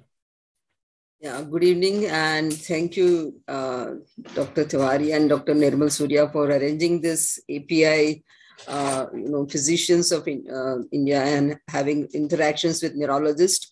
And I think after COVID, this online thing has really become very, very uh, prevalent and very, very popular. And thanks, Gagan, for your kind introduction. So, uh, woman with epilepsy itself is, uh, uh, you know, a big challenge because we, in a, as a woman, we have uh, to give a birth to a child, and that, that causes lots of difference between a man and woman. So I'll be covering my talk, the following uh, are all the topics during my this 20 minutes talk. So let's go over to the now seizures can develop at any stage of the woman's life, but pregnant women constitute almost 0.5% of all pregnancies and 25 to 30% of them have increased seizures during the pregnancy. Approximately half, one half million women with epilepsy are of childbearing age and uh, important thing is that 95% uh, of this pregnancy will have a good outcome. So you have to be very, very hopeful even with when you are dealing with women that they can get married and can have a normal child. So the goal is together with the team management, you have to have effective control of maternal seizure with a list risk to the fetus. So now let's start from the beginning. What happens during puberty and epilepsy? So at puberty, there is a rise in the uh, FSH and LH, gradual increase in estrogen. The estro it's important to remember this one line that estrogen is epileptogenic and progesterone is protective. So whenever there is a marked increase in estrogen, like prior to ovulation, there might be increase in the seizure frequency. And when there is a fall of progesterone post menstruation, there might be again increase in seizure activity. So epileptic activity affects the endocrine function and hypothalamic by induce this epileptic uh, waves may also go to the uh, pituitary hypothalamus and may cause alteration in LH pulsatility. So this is a simple uh, chart which is showing that there is a before ovulation estrogen is increased. So that is this is increased. So there is one uh, period where you can get increased seizures, and then then this is a protected period because the progesterone is high. And once it falls Again, the uh, decreased progesterone just before menstruation, there is again increased vulnerability in a person with uh, having menstrual cycles and uh, normal cycles and epilepsy. So how does menstruation get affected in epileptic? First of all, it has epilepsy-induced LH pulsatility, which I already said. Then AD itself, like especially like a valproate that causes PCODs and that may cause disruption in the endocrine function. And lots of psychosocial factors due to the chronicity of this epilepsy. All this together may cause irregular menstruation, increase in number of anovulatory cycles, and further leading to infertility because of the anovulatory cycles. And also there is increase in number of PCODs, that is polycystic ovarian diseases. Either it is drug induced or due to the limbic or temporal lobe epilepsy itself causes this. So now what is termed as a catamenial epilepsy? The term catamenial is derived from catamenios Greek words meaning monthly. So women with catamenial epilepsy have a cyclic exacerbation of their seizures at certain points in their menstrual cycles and which are attributed to the fluctuations in the their sex hormone. And it is reported in one third of the women with epilepsy may have this. In a large um, community-based survey, almost 28.2% women with epilepsy reported that they had, uh, when they were using the hormonal contraceptives, almost four to five times higher seizures compared to who were not on oral contraceptives. So even for this woman, when you are thinking of contraception also, you have to be careful because any hormonal change does uh, have a responsibility of causing more epilepsy as estrogen and progesterone fluctuations occur. So what is catamenial? There are three types which can occur, but I'll just tell you in brief that the first pattern is that during the perimenstrual C1 pattern, that is day minus 2 plus 3 around the menses. Second pattern is a periovulatory. This is the C2 pattern that is around the 14, 10 to 14 days. And the third pattern, this is mainly seen in the anovulatory cycle, this is during entire luteal phase, that is 10 to minus 3. The most common is C1 pattern. So what, what do you do? Now, what happens during that? Uh, how do you manage this? there is alteration in fluid electrolyte balance, so you may have to use acetazolamide. Second way is cyclical AD treatment. So whichever anti-epileptic drug the person is on, you can either increase the dose of that anti-epileptic for those six to seven days or 10 days whenever he has, or you can add a clobazam 10 milligram for 10 days or seven days, whichever days uh, she has increased chances of catamenial epilepsy. And if everything doesn't act, then comes a hormonal intervention, which may be a premenstrual, you may give progesterone or anti-estrogen or GnRH agonist. Now, the in the West, this progesterone lozenges are easily available, but not so easily available in India. Uh, and so the other thing is that uh, you can try here is progesterone depot acetate 150 milligram every three months and this reduces almost 39% over a one year period. So either a lozenges, which has to be given as the chart is shown, or you can have this depot. Now, what are the cosmetic side effect of ASM? This is very important in women because definitely you all know that women would always like to look good. And if there is a cosmetic side effect, the compliance goes down. So the valproate and carbamazepine definitely causes weight gain. It also causes tremors, Topiramate zonisamide causes weight loss. Valproate and levetiracetam causes hair loss. Phenytoin causes hirsutism, acne, coarsening of facial features, gingival hyperplasia, and there are many others. So significant impact on compliance is due to this cosmetic side effect. So whenever you are putting the young girl or a you know a girl in 10 uh, you know 20s and 30s please do think about this cosmetic side effects and then choose your anti-epileptic drug. Now, how? What about the contraceptions? The serum AED levels uh, are, in the hormones with COC are always going. Uh, uh, you know, there is fluctuations in the uh, sex hormone, and this leads to the contraceptive failures. And effects are due to liver enzymes induction, which is especially the estrogen component. And this differential effect is uh, more difficult to predict. So it is better that you uh, use non-oral contraceptive uh, like uh, barrier methods for this woman. And also the COC can induce the metabolism of certain AEDs, which will lower their blood levels. So the recommendation, if you want to give COC only, then you may use uh, given in combination with uh, drugs which uh, uh, by increasing the dose or tricycling COC. Tricycling is for three cycles you continuously give without giving a break and then you give a break where the menstruation is occurs. But most more effective that you use intrauterine devices or you have IM depot progesterone preparation, which are or a barrier methods. They may be more, uh, you know, uh, advisable for those who are on anti-seizure medications or you and also you should use the drugs like which does not have a significant side effect like lacosamide, levetiracetam, and zonisamide, uh, which are safer for uh, with oral contraceptive pills.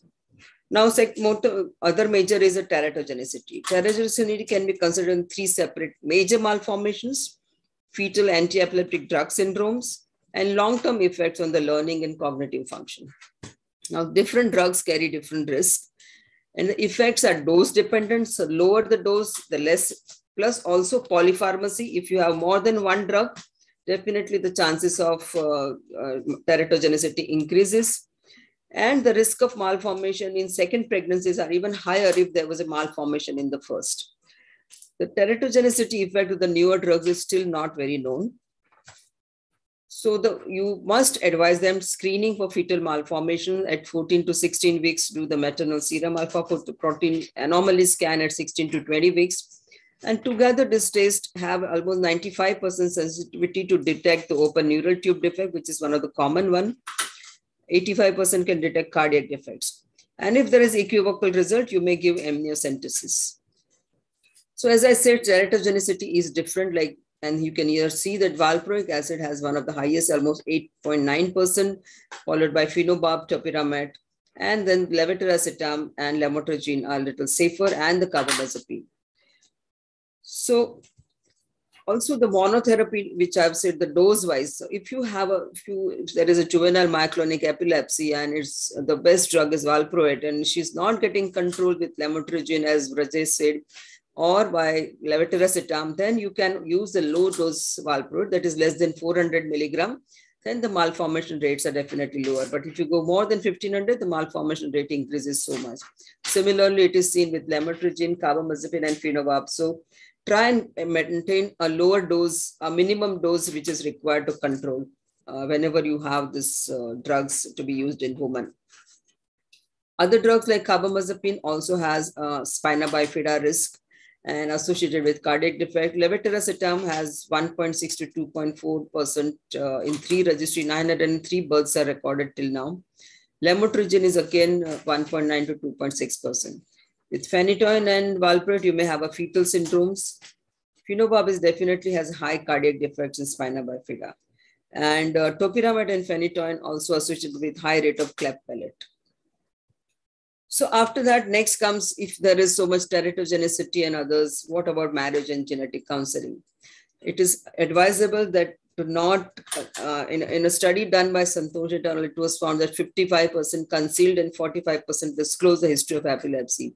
But the prevalence of divorce, separation, and disturbed marriages was significantly higher among those who concealed. So I think it is important that you advise them that you do not conceal, be open about it, and then think of having a marriage negotiation. And it is the neurologist can also play an important role.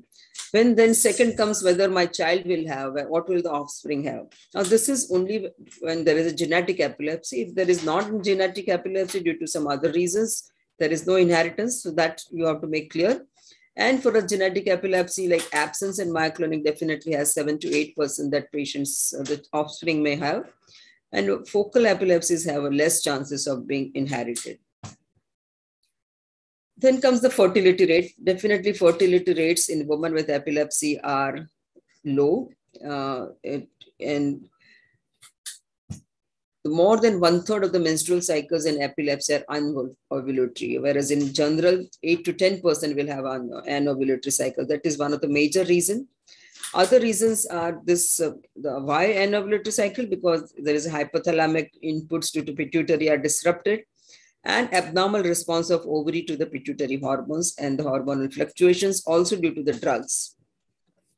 So uh, potential factors other than this is the social factors. There are lower rates of marriage, late marriage, social isolation, decreased sexual activity, and genetic factors and the anti-epileptic drugs together have decreased fertility. And the Kerala registry, which is our, uh, one of the, the best registry in world, uh, done by Sanjeev Thomas and his team, showed that with one AD, the fertility rate is 31.8% infertility rate. But if you have a three or more AD, the infertility rate goes as high as 60%. So it is important that when you are considering a woman to be on the anti-epileptic drugs, try and reduce it to the one or two drugs so that they it doesn't have, uh, you know, it has a good side effect. Seizure frequency during pregnancy. In pregnancy, it is said that it may increase in 20 to 33%, decrease in 7 to 25%, and no change in 50 to 83%. And why?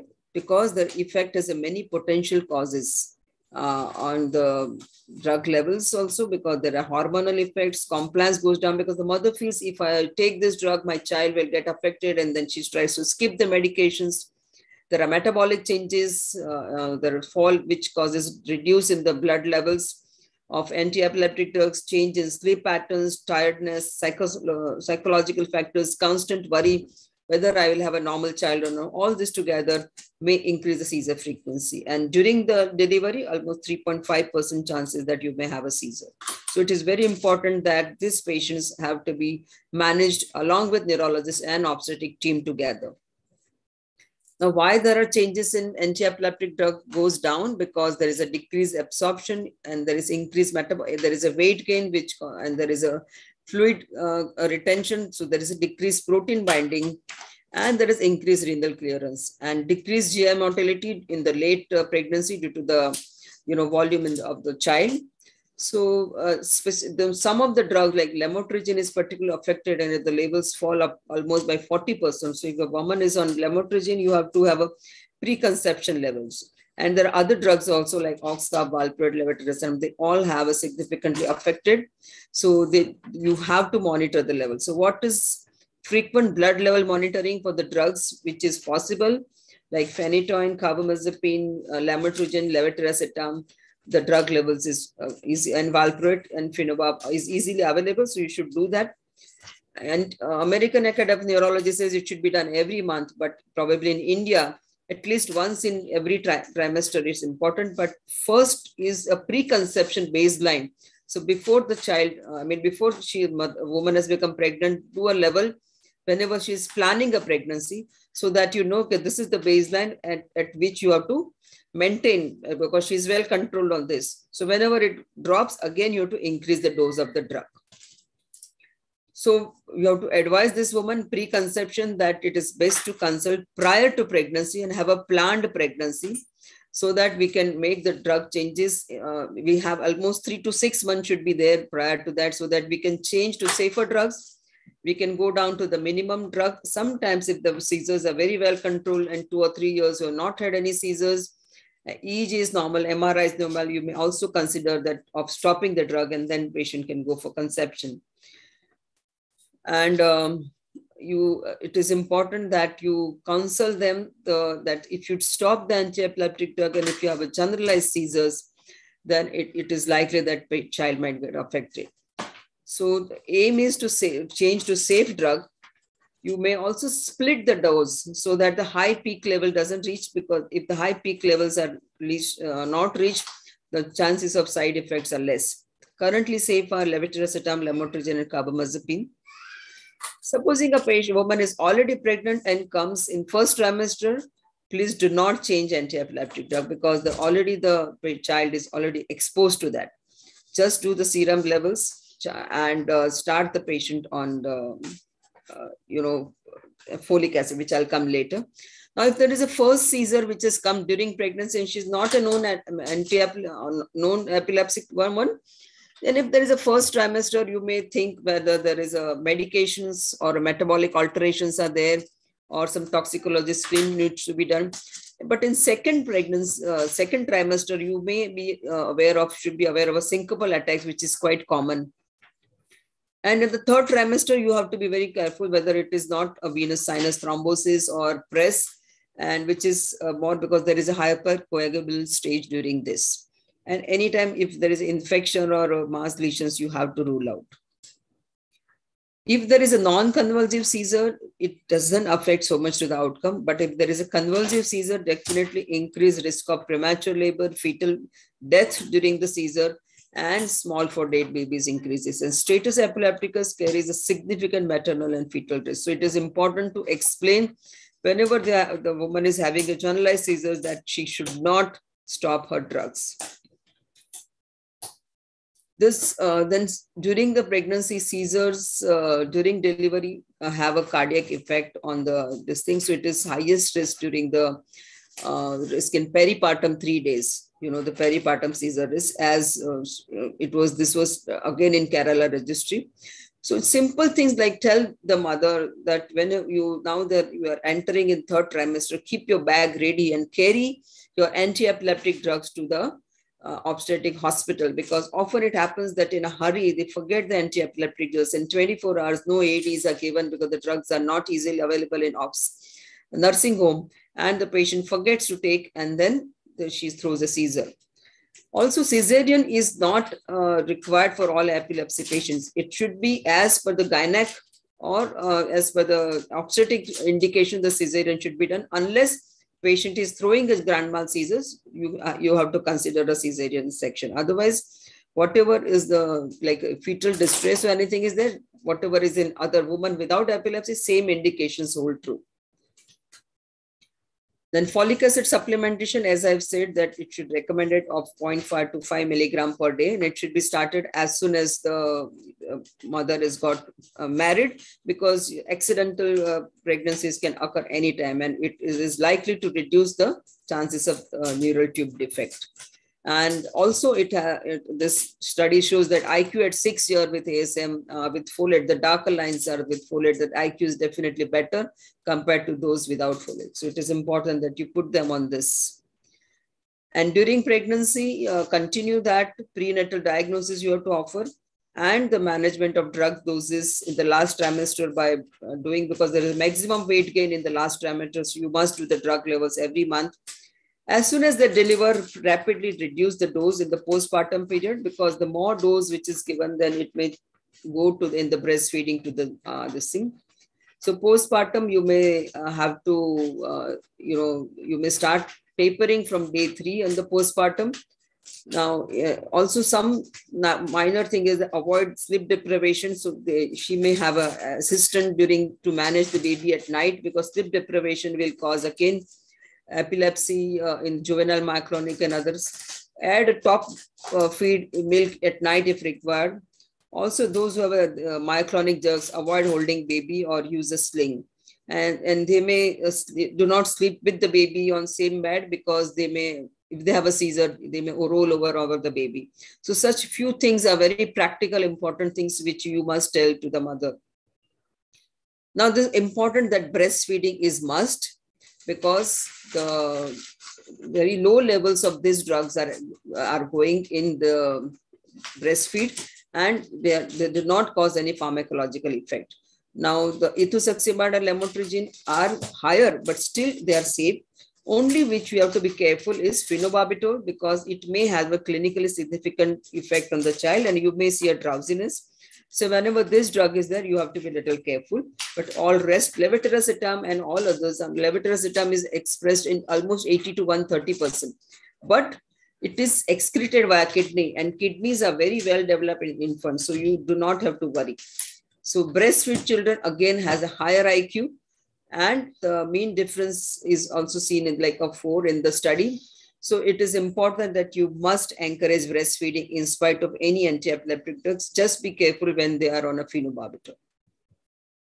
The last few things are epilepsy and sexual dysfunction. Many women uh, may have a normal sex life, but definitely there is a reduced libido and arousal uh, reported most frequently. And this is sexual dysfunction is more seen in temporal lobe epilepsy. And 50% of women with right TLE and 30% with left TLE have been described. But the reasons for this could be multifactorial, psychological, social, cultural, and drug related factors, as well as the neuroendocrine related factors, which I've already uh, enumerated before. At menopause, fluctuations in ovarian steroid hormones may exacerbate or diminish the seizures as per the fluctuation, but HRT definitely may worsen the seizures. Menopause may improve the seizures most probably because the fluctuations in the hormones will go down. especially those who have a past history of catamenial pattern. For them, the menopause is definitely more beneficial. And the AED bone health, definitely AEDs do cause osteoporosis, hypocalcemia, hypophosphatemia, especially drugs like phenobarb, carbamazepine, and phenytoin. Long-term valproate also has an effect on the bone metabolism, and polytherapy also increases bone uh, metabolism adversely. So recommend the DEXA scan uh, every five years, those who are on this. And there is also additional risk if this woman fall because of the seizures it may cause trauma and it AED may induce ataxia and dizziness because anti-epileptic drugs, the most common side effect is somnolence, ataxia, and dizziness. So recommended for a bone health is levetiracetam, lamotrigine, topiramate. Now also the brivaracetam, which has come a new drug, which is a next generation of levetiracetam, and it does not have a psychiatric side effect as levetiracetam. So that also can be added and also you have to give calcium and vitamin D supplements as you are giving in other women also. Psychiatric comorbidities, definitely postpartum depression is occurred in almost 39% of women compared to 12% women without epilepsy.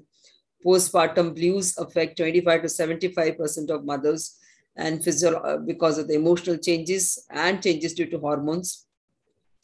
And also, uh, you know, the PNES is a psychological non-epileptic seizures are is, is also seen in epilepsy patients with women with epilepsy. And definitely they have more seen in women compared to the male in the ratio of one is to three.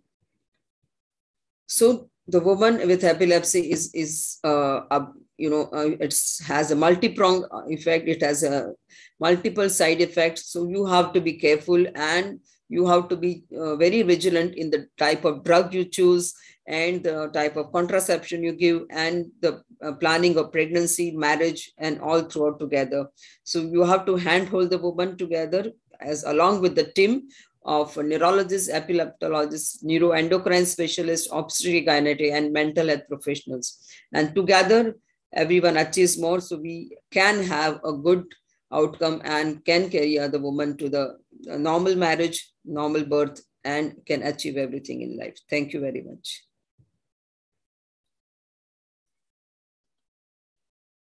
Right. Thank you so much, uh, uh, Dr. Sangeeta and Dr. Rawat, for uh, um, such an excellent overview covering almost all aspects. Uh, we are running a little behind time, but uh, uh, I believe we have Dr. Surya. We have time for a short discussion. And are there any questions? Um,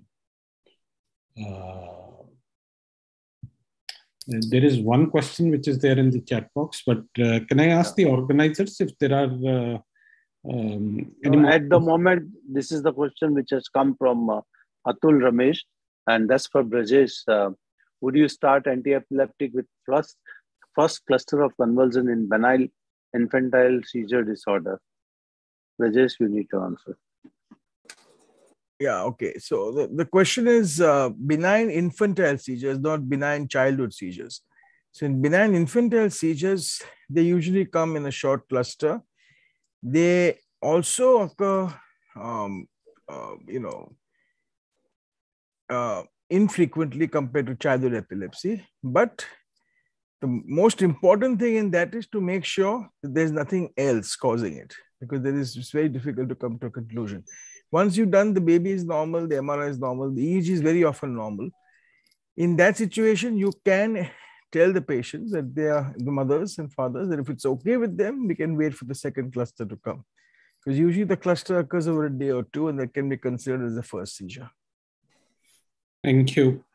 Gagan, you can take one one question for all speakers.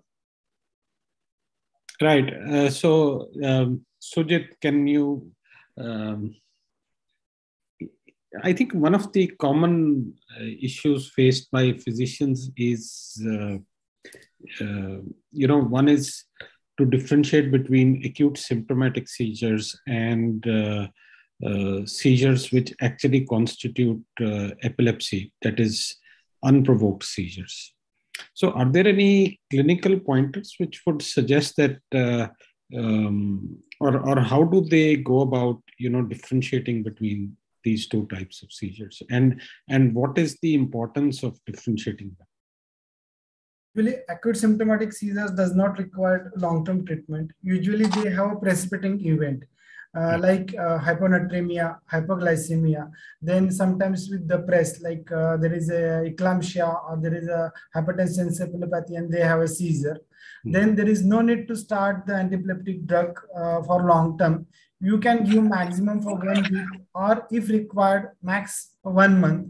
There is no role beyond one month. So we have to know about the precipitating event. And if there is a hyponatremia or sometimes uh, we know that uh, patient had a trauma and he had one episode of seizure, but imaging is normal, everything is normal, then there is no need to continue uh, for long-term uh, treatment. If in addition, if there is, uh, you are doing EEG and uh, EEG is normal, then again it uh, further tells that uh, there is no need of antiepileptic drugs and we should have long EEG, like we should have awake and sleep record, not only awake record. Because sometimes what happens, today only I saw a patient who had thought to have hypoglycemia. He had was a 92 year man and he had uh, uh, altered sensorium and there was persistent eye deviation to the right side. Relatives initially were not ready. They said that is mostly due to hypoglycemia. He's a diabetic, but his sensorium doesn't improve. And then after three hours, CT was done and it showed there was a left frontal bleed. So we have to, uh, that is the reason for his altered sensorium and his eye deviation, and that is the reason for seizure. Here he will require a long-term treatment, but he had a fall and just sodium there, uh, or no fall and sodium was uh, low, 120 or 125, then he will not require long-term treatment. Thank you. Thank you so much. Uh, my next question is to Dr. Udani. Um, it's more of a general question, but uh, you can actually also tell us because uh, there are probably some differences between adults and children. So, what happens? The patient comes to you and you uh, diagnose that this particular patient has epilepsy, and then you decide to start the patient on treatment. Once you've started the treatment, what are the chances that his his or her seizures would be controlled? and and uh, you know in the short term and the long long term okay so one is that uh, in a general sense in most epilepsies hmm. the risk of seizures once you decide to start treatment you are assuming the risk is more than 60% of recurrence once you start the treatment on a general sense the in the sense in generally the risk is, is estimated to come down to 10% in the short term. The problem is that there are lots of variables. So, for example, if you have a you know very high frequency of seizures, explosive onset of seizures, and you're getting daily seizures, you know, your chances of uh, control are going to be less.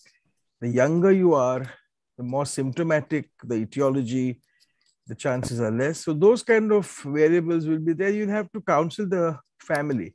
But in general, say for example, the most of the run-of-the-mill routine garden type of epilepsies, hmm. you will be able to reduce the risk from 60 to 10% approximately.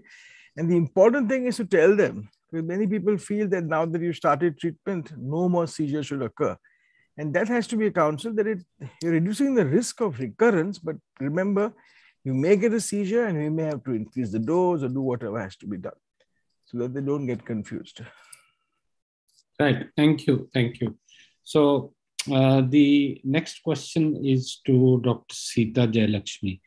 Uh, uh, so cardiac disorders are extremely common. And uh, so in your experience, uh, Dr. Sita, how often would you have uh, someone with an underlying cardiac disorder and the patient is presenting to you with, with a presumed diagnosis or, or a referral diagnosis of epilepsy or, or seizures. And uh, are there any special considerations in terms of anti seizure medications that you would uh, uh, keep in mind in patients who have an underlying cardiac disorder? Yeah, yeah, it's a very important question when we are managing the elderly with epilepsy. I will say 20% of the elderly, when they were referred to us uh, as an episode of syncope or a seizure when they even from the cardiology, when you evaluate, you especially it's like I already discussed, one should have an ECG lead when doing an EEG. So definitely some rhythm disturbances can be picked up, and after that, doing a Holter monitoring will definitely will reveal because these are intermittently occurring uh, arrhythmias.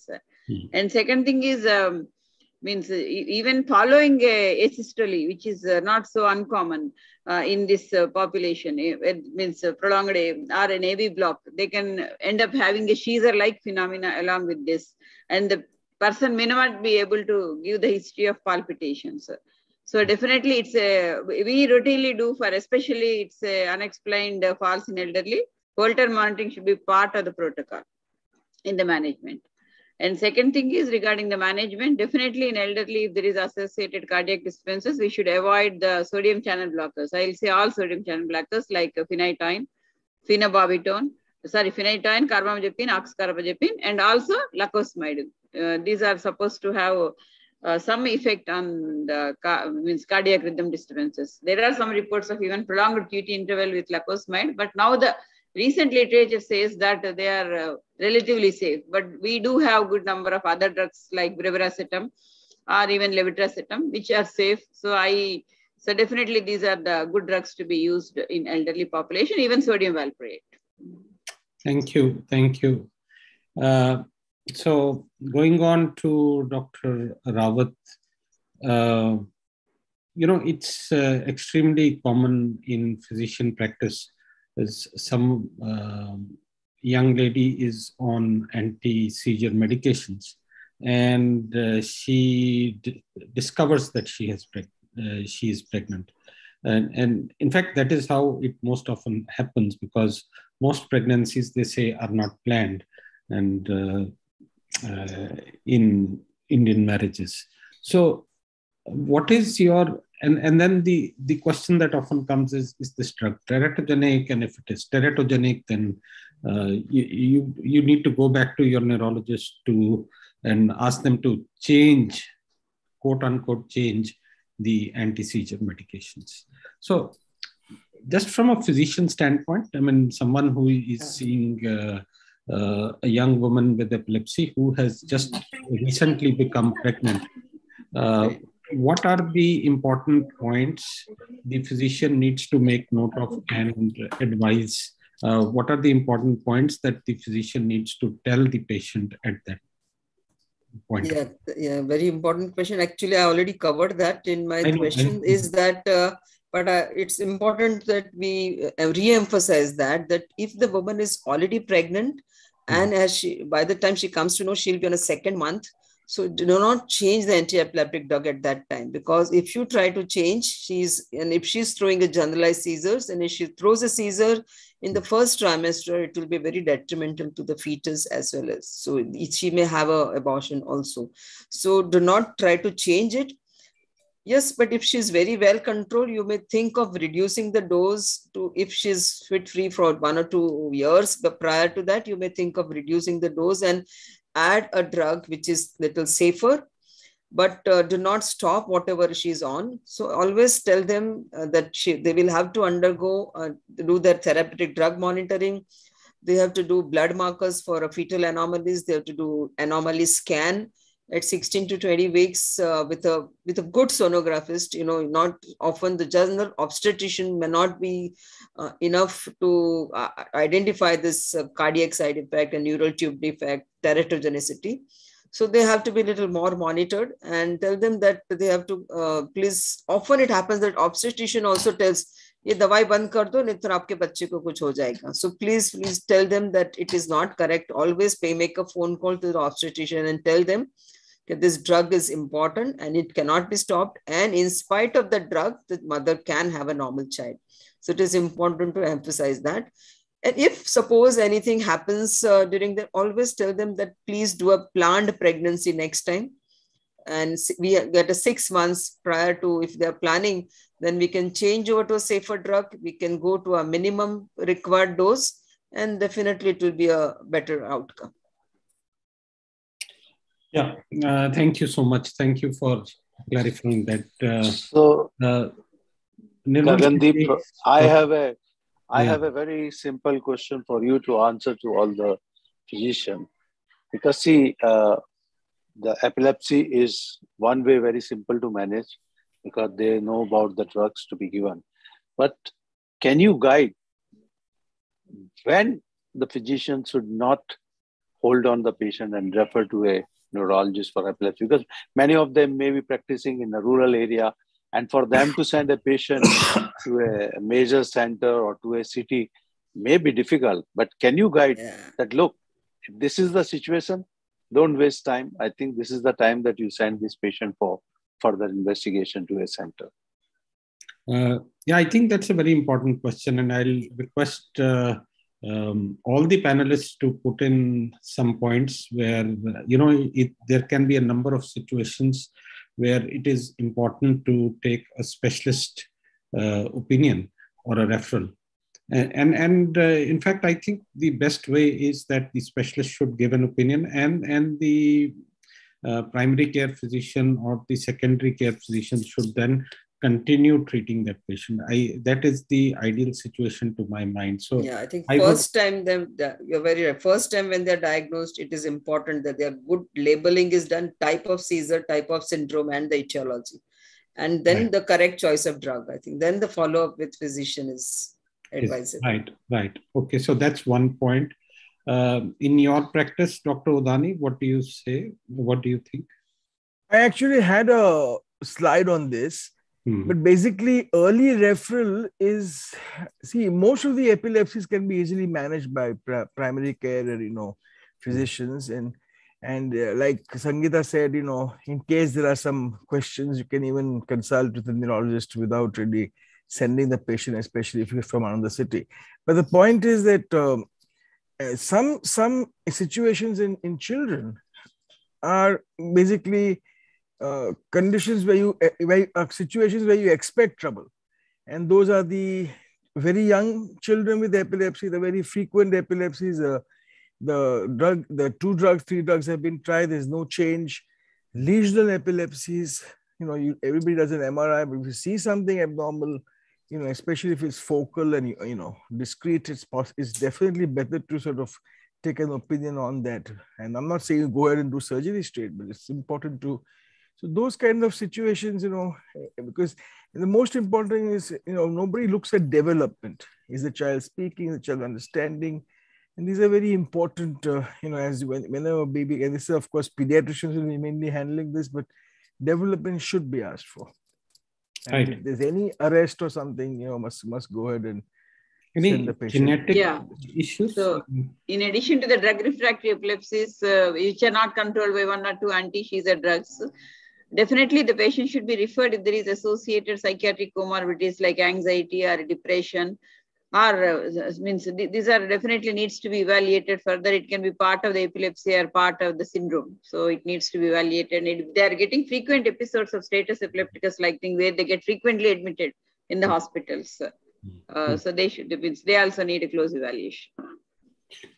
So there is uh, indeed some debate, can, and since you have, can I just add one more thing? Yeah. Yes. Please. Yeah. Whenever there is a change in seizure semiology in a known epileptic, that is also time when you should send to neurologist again, because this change in semiology could be that they are very well controlled and they have started throwing a pseudo seizure because they are uh, losing on all the attention. Uh, which they are used to. So, or there may be some different uh, which is happening. So, whenever there is a change in semiology, please do send to neurologist for at that time, just for an opinion again. Right.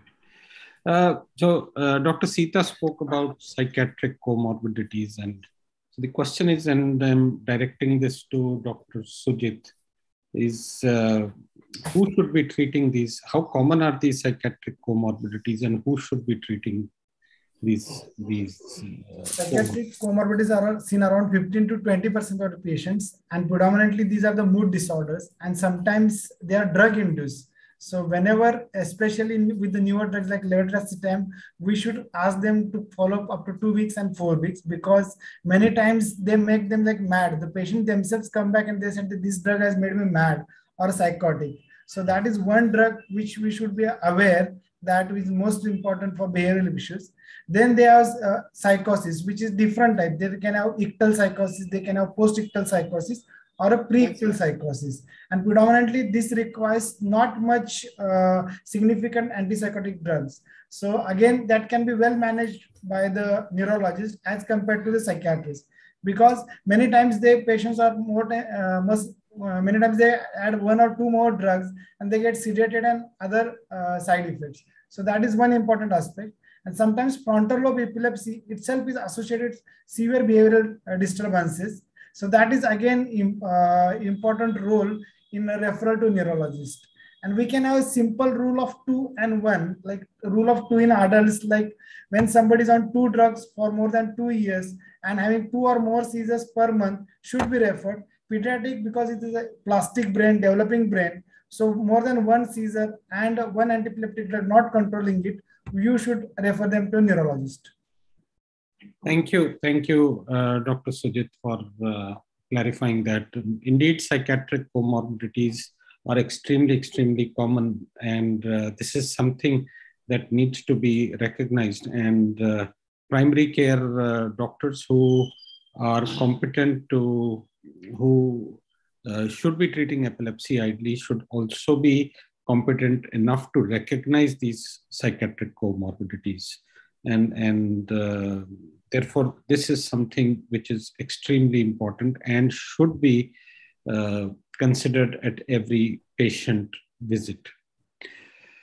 So, uh, Gagan, one more situation I just wanted to before we close because uh, you know Papaldi and uh, epilepsy is important. So I just wanted to you know, I have seen a lot of patients in rural areas coming from physicians. The situation is uh, patient uh, comes with first seizure, they start the drug.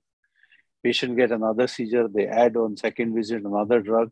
Patient come back after some time, get another seizure and come, they add another third drug. And this is a very, very common situation that they just keep on adding one, one, one drug because uh, rather than escalating or finding out the type of seizure.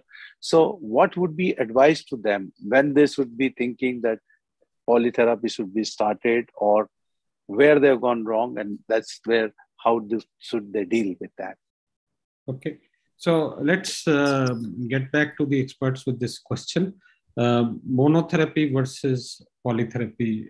Dr. Rawat, please, what is your? Yeah, I think uh, the first of all, if the first drug is not controlling, check whether you've chosen correct drug.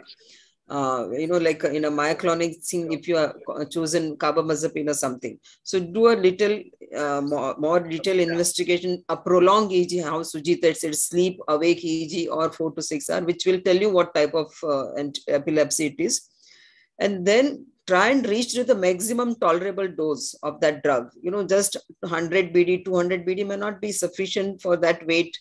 So increase the dose till patient develops side effects or patient has a problem with, uh, you know, side effect due to that drug. After that, only if the seizures are still not controlled, you have to choose, think of another drug. Now here also there are two situations. Supposing the first drug is not having any effect, then you may stop the first drug and add the another drug, a new drug. But if first uh, drug has got a good uh, control, but not a complete control, then you may continue the first drug and add another drug in a low dose.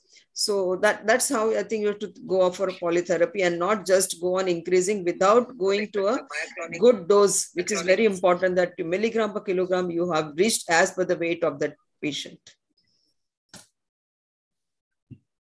Right. Uh, What's your uh, take on that, Dr. Udani? Uh, yeah, I generally agree with whatever Sangeeta is saying. I think the point is that, uh, you know, when patients come to us, it, it, one has to remember that this is explain to the patient that this is not like having a cold and a cough and that kind of thing there will be some time before it may get you may require a drug you may require escalation etc etc and i think that counseling has to be done so the patient sticks to you. Most of the times the problem is that people want to start a new drug because you go to somebody else. That is that i think one of the things which sort of is the back of the mind you know? And then you keep adding drugs and you you know you the whole situation becomes worse. So counseling is important. Second thing is you must try and keep a diary. Because uh, yeah, yeah. yeah, because you know when you say uh, response to drugs It is not from, say, suppose you're getting two, three per month. It may not become zero. It may become one every alternate month. But that is a good effect. Hmm. And that has to be, you know, told to the patient, देखो improvement हुआ है. अभी थोड़ा dose बढ़ा के देखेंगे ना control हो जाएगा those kind of positive things should be given otherwise what happens is that you know you add add add and, and, and of course then i in my opinion i think if the first drug correctly chosen correctly given and all that there's absolutely no change in the seizures you can try one more drug but then you know you're try to now think that maybe I'm, I'm missing something out maybe a hmm. little opinion from a neurologist may be a useful thing Dr. Sita, uh, when a patient asks you, how long am I supposed to be taking this medicine? So what, what is your answer to that? Yeah, yeah. So adding to what uh, Rawat and Vridhani has said, actually before, even in drug-resistant epilepsies, we should uh, go for a video EEG like Sangeeta said to rule out pseudo-seizures and also to make sure that we are giving the right drug for the right syndrome, like juvenile myoclonic epilepsy, which needs uh, sodium valproate as a drug of choice. Even levetiracetam may not help. It doesn't mean that they're not responding. And continuing with the question, how long to use the medication? Again, this depends on the what is the syndrome we are dealing with. There are some spontaneously remitting syndromes like benign Rolandic epilepsy, which we have seen the videos uh, by Dr. Udani. So they don't need uh, actually reassurance by the parents is uh, of the parents is enough. But if they're uh, anxious, we give them the treatment. Otherwise, the recommendations now, as per the guidelines, is two years of freedom on uh, medication. And then if they're free, we can down titrate slowly. Uh, down titration can be done over a period of uh, uh, possibly one to two months based on the drug we are using. Usually benzodiazepines and phenobarbital need slow down titration. And one can stop. But those who start with daily seizures, frequent seizures, if there is an imaging abnormality, uh, and then those who had a status at the onset, all these will have possibly high risk of recurrence. Always do an EEG before reducing the medication. And if the EEG is active, the risk of recurrence is very high. We may still taper, but we inform the family. Means uh, there is good evidence to show that an active EEG just before reduction is associated with high risk of recurrence. Thank you. Can I add to that? Can I add to that yes, just yes, one yes. thing? Certainly. Yeah. See, the thing is, I, I think what is not being emphasized uh, by many physicians and neurologists as well is sleep is a very important, sleep deprivation is a very important trigger of epilepsy. And I think what happens is that when you're giving the medication, sometimes, you know, you can get away with a little sleep deprivation. When the medicine off, this has to be counseled that you must have your, uh, you know, whatever sleep you require adequately going to sleep late and one o'clock, two o'clock, getting up early, you know, all those things just ruin the whole problem. Lifestyle changes, I think. Fantastic. Some yeah. some discipline in life is required for these patients. Absolutely.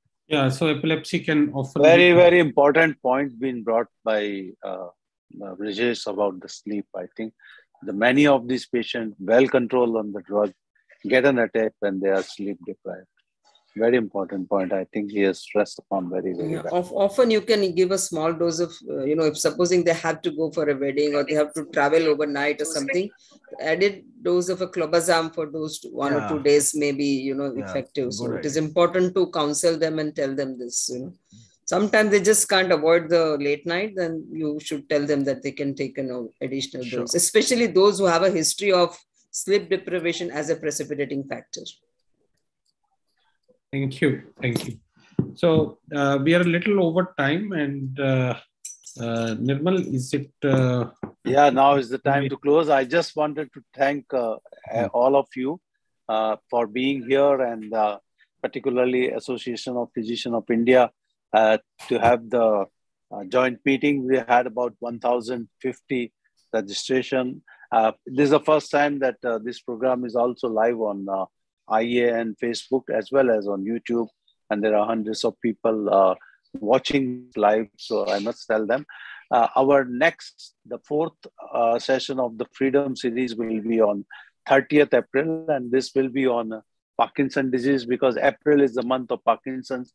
11th April is Parkinson Day. So we, our next session will be a, on Parkinson disease, and we'll come back to you with detailed program in next weeks or so. Thank you very much.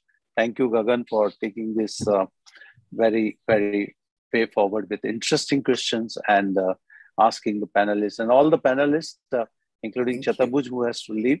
Uh, thank you very much. Thanks Yeah. to uh, Omnicure. Thank and you. the- Thank you, everyone. Good. Thank you, Nirmal Thank you, Good everyone. and Thank you for inviting Those- us. Thank you. Those physicians who are in Mumbai, I'll request again to go and have a look at ceiling today, which might Sure. not be purple tomorrow. So today Okay. is the last day to see. Thank you. Okay. Thank you very much. Thank you. Bye-bye. Bye. Thank you. Bye. Thank you, sir. Thank you. Thank you, Sujit. Thank you.